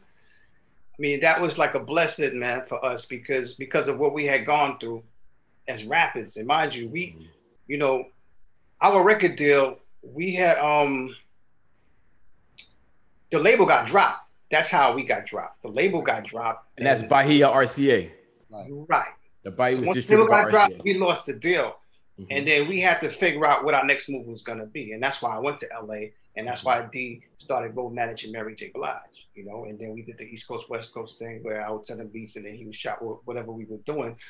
And for us to be able to get that second 15 minutes of fame to be able to reinvent ourselves, man, that was that was a great that was a great moment for us to be able to to to to do that because um it kept the two kings in the cipher legacy alive.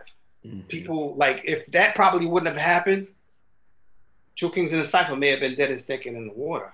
But because mm-hmm. people saw us as these producers who became successful, you know, mm-hmm. within that bad boy era, they could say, yo, those are the guys that came from Two Kings in the Cipher. Those are the dudes, like, you know, so they were able to associate the two.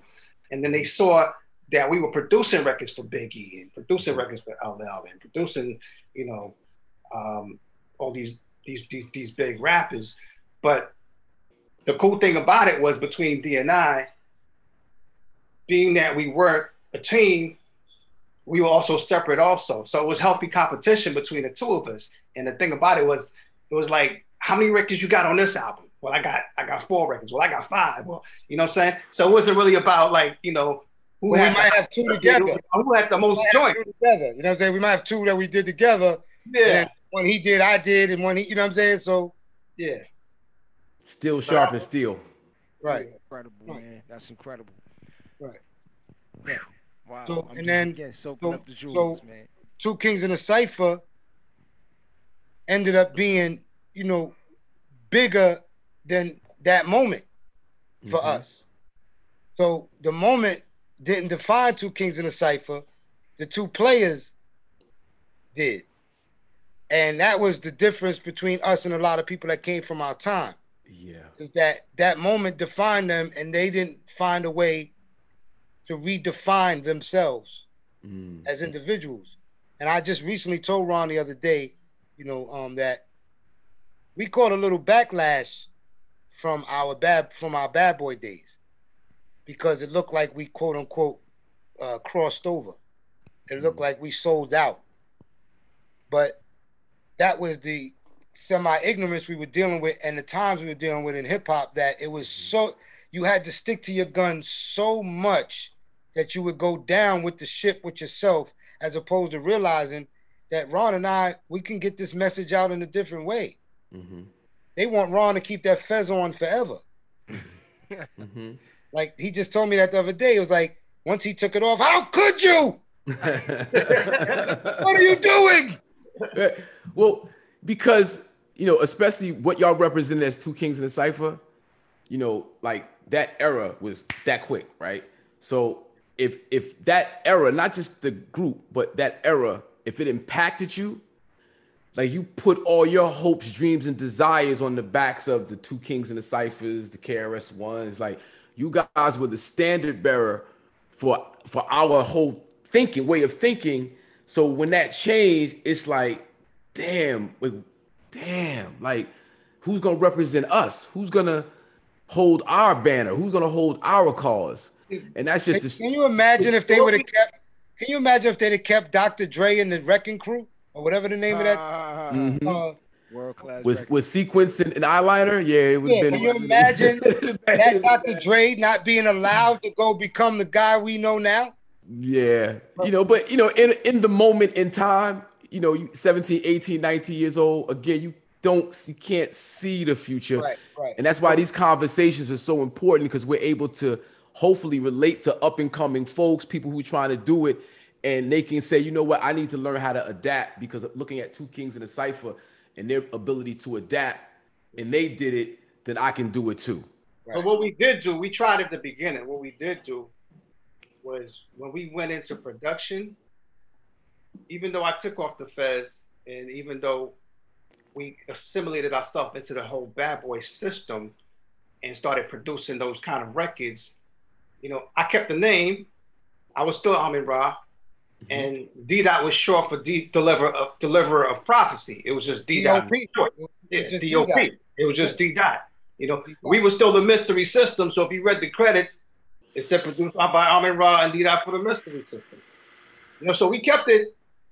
And then you know, if you if you look at the uh, the credits on Biggie's album, in uh, the the locks, you see all that all the information is still there as a mystery system. You know, it wasn't until we just we decided to like, um, you know, plot and go separate ways. And D said he was gonna do Crazy Cat. He he created the whole Crazy Cat um, catalog. And, and, and Mad Rapper. I did the Mad, Mad Rapper. Rapper. I just kept the mystery system. I just kept that going, and then he just created his own lane and just started doing his own thing.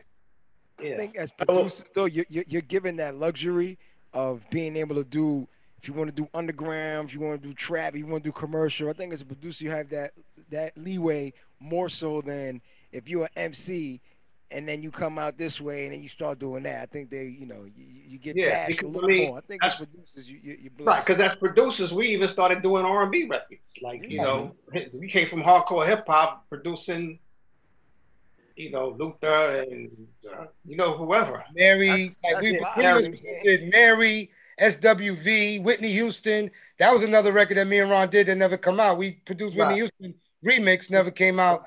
Ron did Aretha, Luther, I did Mary, Total, SWV. So we ended up as producers to expand ourselves.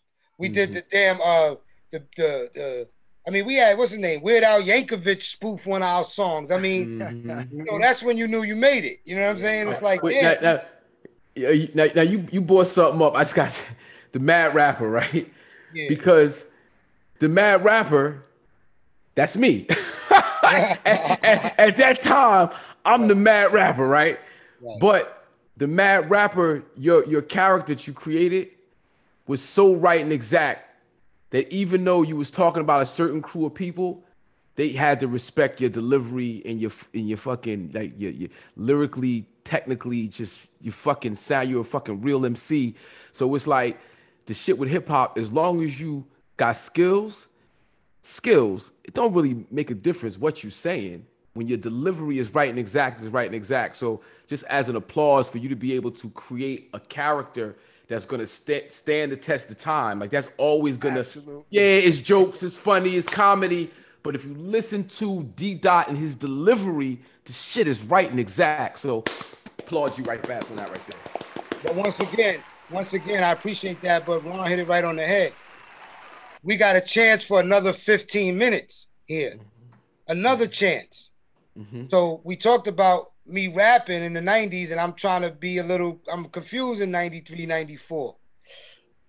Here come 96, 97, and there's a just this little window Uh-huh. as the mad rapper. So It's this little. But I'm like, man, if, if, if I can slid, slide through that, I can get a second chance to express myself again. But what what was the environment? I mean, what what what brought that on? Where you was like, yo, I can add on by doing this, and then you, what what what was the? Well, it, it wasn't. It wasn't the. It wasn't the the mad rapper itself. It was the uh-huh. result of it. Meaning, when we went into it, what you said was a little halfway true. There was nobody specific that I was mimicking, Right. but the moment was based on the East Coast West Coast beat. But it was nobody Look at specific. Black Rob. What's the other dude with the with the heavy bass voice? Wasn't that Black Rob? I was Nah, I mean, it- Yo, yo, yo, yo, yo. Some people thought it was Ghostface. Some people thought it was Ghostface and Raekwon. Uh-huh. I always thought it was Black Rob. It was always, you know, it was nobody in particular. But the point is, is that Tell her why you mad, son. after I did it, because I pretended to be a rapper Uh-huh. that was upset at Biggie, I got to give a shout out to DJ Clue. Applause, applause, applause. DJ Shout Clue. DJ Clue. and and and and um there was a a a A and R uh, promotion guy at Bad Boy, and he came up to me after I did the Mad Rapper and said, "Dot, this is your opportunity." So I didn't even realize it. This was after it came out. He said, "This is your opportunity to rap again." So what I here's what I want you to do. He plotted it out all for me.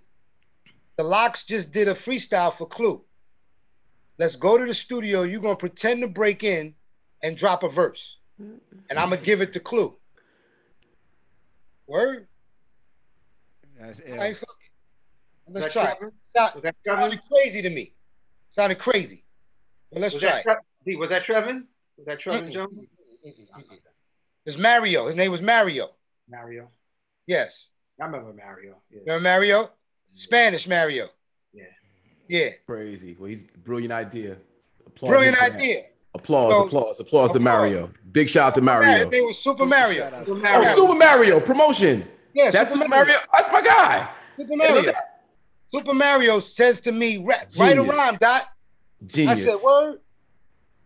I said, "All right, cool." So the first rap I wrote as the mad rapper was that I represent for all my left back niggas, cack and lack, Mhm. left over the over the Grease beat. Grease did the beat for the LOX, and it, it was on the Clue tape.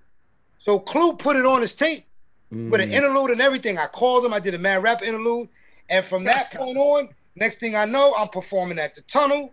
I'm, I'm, I'm spitting the verse all over the place. I was like, oh shit. So then me and Tracey Lee do a record together as the mad rapper. Next ah. thing I know, I get an offer for a record deal. And people don't even know that it's you at this time still, because it was They don't know it's me. you know that was that and that's the genius of it, man. That So was shout out to Super Mario, shout out to DJ Clue, because they actually helped launch the career of the mad rapper. Yo, big shout out to them. Yes, yes, yes, yes, yes, yes, So yes. what are you guys, can, if we may ask, what are you guys currently working on? What can the people expect? Like, you know, what are you guys cooking up these days? Um, for me, right now, um, I still do my voiceovers, so I'm doing my voiceovers. Um, and I, I have uh rules to this shit that I did on BET. That's part two. You know, it got actually cut. You know, so God willing, BET will start up again when it's good, so we can finish, you know, or even start production on Rules to this shit, you know, season two that we Mhm. had. Um, that's what I have going on personally. Um, and then Ron can tell you what he has going on by himself, but jointly together, Ron and myself, um, we have a little something that's getting ready to drop um, called Songs That Almost Never Happen, which is second produced by Ron and myself. You know, um, that's coming out soon. And um, we're still working on the Hitmen documentary. So shout out to the Hitmen, you know, all our brothers in arms with the production and the songwriting. Can, can you give us some of those other those other members of the Hitmen so they can get their just due? No doubt. Shout out to Puffy, Diddy. Shout out to Stevie J. Shout out to Mario Winans. Shout out to Mhm. Chucky Thompson. Shout out to Young Lord. Shout out to Prestige. Shout out to Anthony Dent. Shout out to J Dub. Of course, shout out to my OG Ron Lawrence. Shout out to uh, Rashad. Nasheem? Uh, Nasheem Myrick. Um, shout out to Rashad. Shout out to uh, even the track masters because they, you know, Poke was an original hitman and Mhm. Buck Wild and Sean C and LV and Amadeus. Mhm. Shout out to all those guys and anybody I'm missing. I'm sorry. Now, a special shout out to Nasheem because um, Carlos Broady. uh, oh yeah, Carlos Broady, Carlos Broady was family.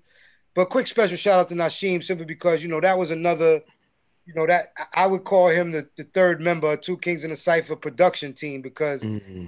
he just bonded with me and Ron so crazy, just as a guy, just as a man. A good And as brother. Love that dude. in school. But once Mhm. we got to the production side, you know, they've they've had their own experiences together on production. Me and him, and you know, he was just a, a good dude. So the hitmen were real special to us. So we are collaboratively with all of the hitmen working on a documentary that hopefully the world will see in 2021. Hopefully, yes, we need that. We need that. working on.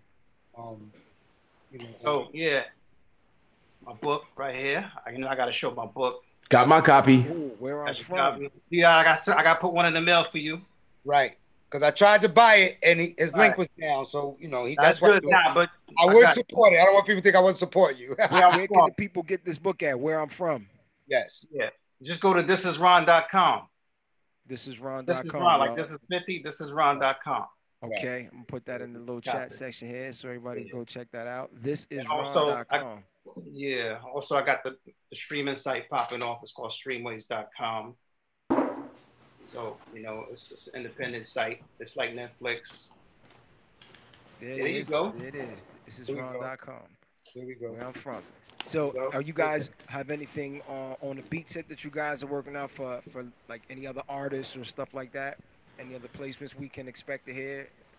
Um, for me, I still, you know, I still have a lot of irons in the fire out there. So I have a a, a young brother out here in Philadelphia that I mess with. His name is Riz Deluxe. He produced for various people out here in Philly, but he just recently put out a little EP. Um, he just got his first placement with T.I., so congratulations to Riz. Um, Nice. so he got his very first placement with you know T.I.'s up and coming album coming. So you know, I wish him luck on that. I mean, I'm associated with a lot of artists out here in Philadelphia that I still do some mentoring for, some consulting. So there's a young lady named Petty Levels out here that she's a big hip hop influencer. She got millions of followers doing videos. So her part, her manager Shantae has allowed me to be a part of their team. Um, I mess with you know uh, songwriters and producers out here. So we have an artist named Suzanne Christine, who's a very good singer out here. So I'm working on her project, me and Riz, just a little EP that we got Mhm. coming for her. So I still, you know, it's not my everyday anymore. You know, we were letting it, me and Ron, are, you know, the young kids, just their moment, do their thing. But you know, like like like Hakim said earlier, you don't want to be too overconfident. But you know, when you have talent, you have talent, and in certain areas it doesn't go away, and people still appreciate it. So we still do get the calls for production and different things, and you know, we get to at this stage of our lives, we get to pick and choose what we want and what ones you want to do, which ones you mm-hmm. don't. So, you know, mm-hmm. and that's the comfort comfort zone you get to do after the hard 20 years we put in straight from 1988 to Mhm. you know literally 2008. you know what I'm Yeah. saying? Straight. Now, there's there's there's two things that we didn't talk about that you know I I think it's important for our audience. You know, one, you know, Ron is a filmmaker and has a a, a phenomenal documentary called The Founding Fathers. So I, I would like for Ron to talk about that real quick, and of course, what you did with Crazy Cat uh, D is just a whole nother like you know impact on our culture that that you know needs to be acknowledged and you know because that's a whole nother thing. So ron if you could just talk about founding fathers real quick and your you know your career as a filmmaker and then let's trans- transition to dot with crazy cat. Founding fathers is a um, documentary i started back in 2005 with a you know friend that i grew up with named hassan poor and we kind of wanted to document the history of the music scene going on in New York City um, in, in various other bor- boroughs, you know, besides the Bronx. You got Brooklyn, Queens, and in Manhattan, and you know these guys they were putting it down. And you know, my brother, specifically growing up as a kid, I saw him um, doing a lot, and and I wanted to capture um, his legacy, you know, and I also wanted to capture the legacy of what was going on in the neighborhood. So we decided to come together and do a documentary so we could document the information and we, we didn't want it to get lost. So in 2005, we, we started to guerrilla style it. We went out, we grabbed, we grabbed cameras and we went into the neighborhoods and started uh, finding a lot of the, the old school cats that were like forgotten about. Mm-hmm. And, you know, I was fortunate because um, back in 2000, 2001, 2002, I was able to go back to school and learn learn how to edit and learn how to shoot on film and everything like else. So I, and I took that information and I applied it to what I knew, and um and created a founding fathers in around 2009. We were finished with the product. Now you know over the years because I'm you know affiliated with KRS One in the Bronx and the whole nine yards. Although you know I'm Jersey, you know born and raised. You know I get associated with the Bronx, and I often find myself having to defend the Bronx, even though I'm not from the Bronx. You know, and, and, then when I saw, then when I saw the founding fathers, and I didn't even know Ron, that was Ron's. I just saw it on YouTube, and I'm watching it, and it, you know, it kind of helped. I ha- had to readjust my uh, perspective on, you know, how this culture of ours came came into being, and then, you know, being able to reach out Ron directly and you know D Dot directly is just it's a blessing because y'all my brothers and we just have a relationship really outside of the music just on some we our conversations for both of y'all just be like you know we it ain't really about this it's about the brotherhood and the, and the friendship. So you know i appreciate ron for putting that documentary together. It's a very thorough detailed documentary called the founding fathers uh, narrated by chuck d. Um, so all of our viewers out there i need y'all to go to youtube find that clip make sure you save it download it watch that support my man ron D Dot, Crazy Cat. Like so many things came through Crazy Cat. Crazy Cat, you know, was a place that, you know, I found myself just when I needed some refuge and I needed to kind of like duck away, I would head over and see my brother. And it, you know, you always have it like going on. And, you know, me being naive and not really, you know, kind of understanding the, the pieces, you know, when I went to Crazy Cat, it was always love, love, love, love, love, love. Like, like brotherhood, friendship, business was right. And then, you know, later on I hear, you know, all the crazy stories and I'm like, nah, that's not what I know. So I would like for you to explain to the people what Crazy Cat was and what you were able to accomplish there. Well, um, in 98, I wanted to do my own thing once I left Bad Boy. So I wanted to do Crazy Cat, but I wasn't really prepared to do a, a full record label. Mm-hmm. So, you know, God bless, rest in peace to my lawyer, Ed Woods. Mm. Um, he one of the good great things that came from Crazy Cat was I was able to do this hybrid deal where I was able to own my masters and not spend all the money that was given to me. So, you know, I ended up not being too far in debt when it was all said and done to them because I was able to manipulate the deal in a certain way and, and reuse the money a few times for things. And Mm-hmm. people, I, I can get into that later on. That's a whole nother subject. But Mhm. the goal was for me to be able to do some of the things that we couldn't do on Bad Boy the way we wanted to. Mm-hmm. Um, because I initially went to Puff and I wanted to do Crazy Cat under Bad Boy mm-hmm. because I I saw Puff moving into a very pop lane, which obviously that's where the graduation process should go. Mm-hmm. That's right. But there was still the G Deps and the Shines and the Black Robs of the world that I wanted to rock with. You know, the Smith and Wessons, the the mm-hmm. Inspectah Decks of the world. You know what I mean? Yeah. And he, he didn't really want to do that. You know what I mean? With his graduation process, not that he, you know, he started that way, but now we're getting you The know, trajectory. I'm going Right. here. I got to go up, there. right. Yeah, yeah, yeah. So, you know, 250,000 sales ain't really going to do it for him. But for Mhm. Crazy Cat, that's phenomenal. Right. Absolutely. You know, that's what Duck Down is doing, and these type of guys. And I, that's all I saw Crazy Cat as. Of course, I wanted to be Bad Boy, but I people think that I was trying to be Bad Boy, but to to do what Bad Boy did, there was no way I was going to do that the same way because I would have to put in the same amount of work, time, and effort, and things that Puffy did outside of the music business that I couldn't do, that mm-hmm. I wouldn't do. That's right. That couldn't and wouldn't. Wouldn't. Yeah. So going into it, you know that there's a cap. And I was comfortable with that. But I mm-hmm. also knew that the pieces that I was putting together, the Young Gurus, the Kanye's, the Coptics, the Charlamagne's, they ain't had no Charlamagne, my brother. They ain't had no caps. So if I stay attached to that as well as what I'm doing, and when I say cap, meaning meaning there was no cap on what I was doing. I was saying, but I, I wasn't worried worried about selling 10 million records of Diamond Artists at that time. If I could have got me a fucking uh, a Picasso Black who I signed or or Desert Rose, which was Mashonda and Lady May together, if they would have did a gold record, I would have ran outside naked. You know what I'm saying to you? Like that was success for me getting started with the little thing I had. So to me, five million records wouldn't have been a, a, a failure for me. So that's what I meant cap wise. I wasn't, of course, I wanted that and I was trying to make records for that. So that's what Crazy Cat was. Crazy Cat was an incubator, so to speak. Mm-hmm. Mad Rapper, I did the, the, the album there. I had Raekwon and Puff Mm-hmm. and Eminem, 50 Cent. So I was able to put together, in my opinion, a phenomenal first effort that showed my connections and showed my range. Mm. You know what I mean? So Right. Crazy Yeah, you know, just- ended up being a blessing in disguise for me, even though I didn't have the commercial success and the longevity that a lot of other people had. But when I look at some of my constituents, Mm-hmm. a lot of them didn't either. Mm-hmm. That's right. That's right. Not- Like there's one there- of the great producers has a great label that they started attached to them. Right. Like there's like different business models, right? And you know, my business model is this. So for what we're trying to achieve, I'm putting these parts together to get to this. And then when I get here, my my objectives might change. And then you start to, you know, so I definitely understand to this shit. it's levels. devil there's levels to this shit, right?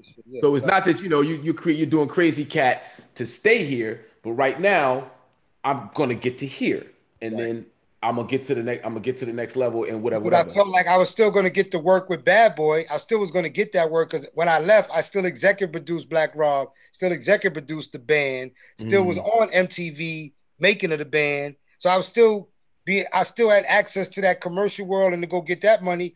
But Mhm. here, I wasn't going to put the pressure on 10 million records on my artists. Right, right. I just wanted to put together a nice collection of music that people could see the D dot style of what I hear. My my bop. Wow. You know what I mean? And Ron Lawrence wasn't separated from that because he produced a song on the Mad Rappers album. Mhm. So it was it still was no separation there. We still, right, still collective effort. brought it into the Still fold. You know That's- Yeah. and that's beautiful. Yeah. That's beautiful. Even like the separation, but we're together. Right. That's that. That's how black. That's how brothers need to function. You know, like you know, we need to make decisions for right now. But bro, you know, we in spirit, we still locked, and to keep that pure and honest is refreshing. And after 30 years, like it's wonderful to see where both you guys are individually and together as two kings in a cipher. No Right. doubt. So Yeah, applaud to you and Fokis though. Thank you for having us, brother. We love you, man. Well, oh, love you too. Yo, folk, do you have another question? Because I got one more question I want to ask the brothers. I, I just want to thank them for, for taking the time out and and dropping all this knowledge, and I'm just thankful for that. That's all I gotta Mhm. say. Yeah. So the la- my last question for both of you is, what's your favorite record you were involved in, and what's your favorite record that you're not involved in? Rob, what's up? What whoever's first. What's your favorite record that you're involved in, in the fa- in your favorite project that you're not involved in? Hmm.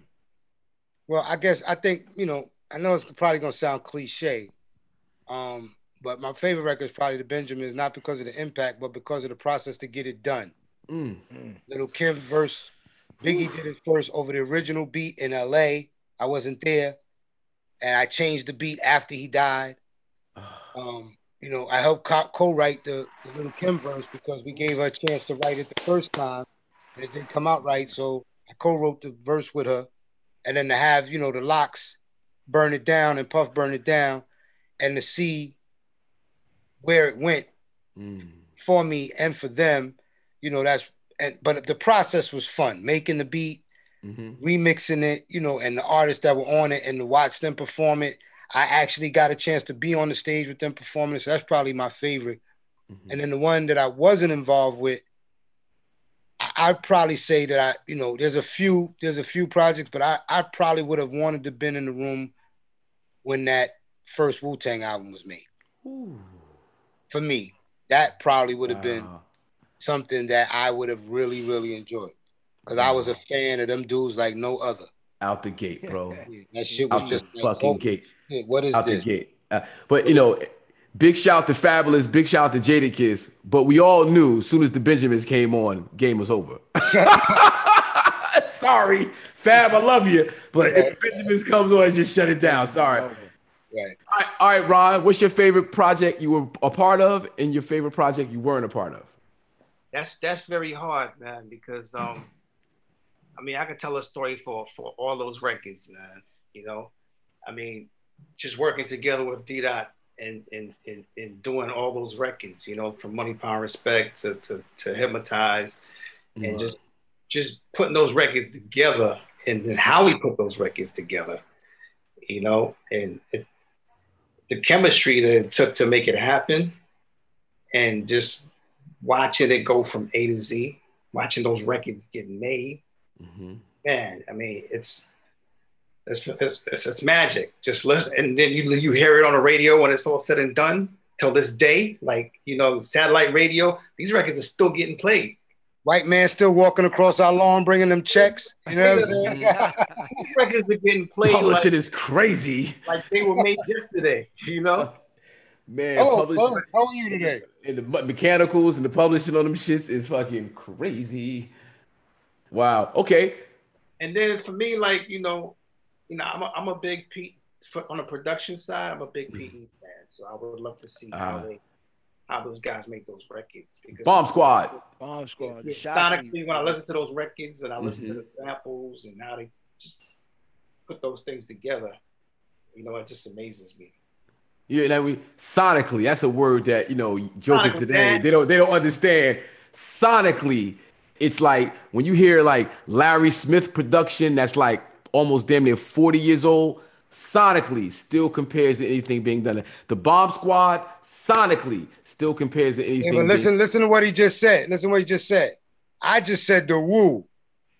Hmm. Sonically, sonically, that's not exactly the pinnacle of no doubt. cut, you know. But that, yeah, but that's that. But that again, again, who you are, D Dot, and what you describe, that's it, right on time. You know, it- it's more, it's the feel and the aura. And I would have been in that studio fixing all that. Yo, dog, you don't hear that? Yeah, yo, can I get a bass? Where's your bass line, bro? What's the bass line? Nigga, What's up with that That's why- snare? It's all over the place. I was That's listening why I to always, that's why I always album. appreciated Dr. Dre so much Yeah.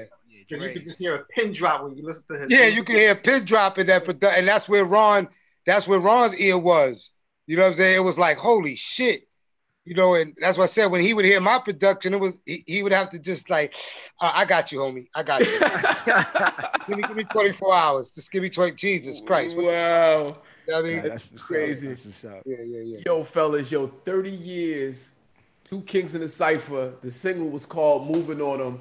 Yeah. You know, for all our viewers out there, please go to YouTube, put in Two Kings in a Cipher, Moving on Them. Watch the video. You're gonna see a special cameo from your man Hakim Green with the flat top fade. Right. And see me screw facing you. Yeah. Screw facing Nah, you. you actually you was checking my chick. You was like, you was looking at my chick like, come on, why you dancing with this character right now? Crazy. No, but, Nah, but yo, but- listen. Let's dance this time next year again the same way because next year is Ron and I 30th anniversary for the From Pyramids to Projects, the full album. With Yes. For the Brothers Who Ain't Here, with Yeah. Daffy was a black man. You know, we had a song called Daffy was a black man. Mm, that's right, John. You sent that to me. Yeah, yeah, Right, yeah. right. So let's dance again this time next year for another 30 year anniversary because hopefully we'll have some more players involved because there was a lot more players involved. For the Yeah. Brothers Who Ain't Here was actually written by Ras Baraka. So it was a poem. So I Mayor just Ras. Baraka. Mayor Ras Baraka, yes. Mayor, Ro- the, The honorable, mayor. the honorable mayor, Right. Rock, who's responsible for my company 24 hours a piece. Let me just put that out there. Right. You know, so, so, here we go. So yeah. these things, so all these things are connected more than people know. So Yes, next sir. year, next year this time, let's dance again. yeah. And you know, because we got uh, with that one, it's a lot more intense because there was a lot more going on, a lot more Mhm. song production, a lot more people involved. Mhm. You know what I'm saying? Yeah, well, I definitely want to have you guys back on before that individually, because Okay. Ron, Ron and I are working on a project, a EP, right? And you know, we, we have our conversations, Right. and then you and I, you know, we get it in, you know, about Colin Kaepernick, state of black people. We both, I mean, I have these conversations with both of you guys. Like we are constantly on build mode. I talk to you guys, you know, sometimes two, three times a week. And those conversations need to be broadcast live so we can kind of look get a little deeper into the consciousness of you individually. And that's gonna happen real soon. Yo, big applause to two kings in the cipher, Deric mm-hmm. D. Dot Angelettie, Ron Amen-Ra Lawrence, Hitmen, Crazy Cat, you know, the, just, just, just the whole thing. Streamwaze is a streaming platform that my man Ron created. And we we gonna get that popping. We need to do some stuff on Streamwaze to help him. And, and, and to the people out there, real quick, anybody that's looking to get their content seen or heard, or just another avenue, you know, Streamwaze is a black-owned streaming service that we have Yes. to try to support. We're not saying stop what you're doing. We're saying have an alternative, have an option, and it just so has an option that there's a black man that looks like you that Mhm. that that wants to get the same goals accomplished as you. So you know that's to anybody watching and any post this that you post up later. You know we'd like them to try to support because some of the things that we're doing, we're hoping to get it on Streamwaze in a bigger way, so stre- mm-hmm. so it can get as much popularity as some of these other streaming services that we support. So let's support Ron, black. yo, yo, spell spell stream spell Streamwaze for the people so they know where to go. S T R E A M W A Z E dot com. Mm-hmm. Streamwaze.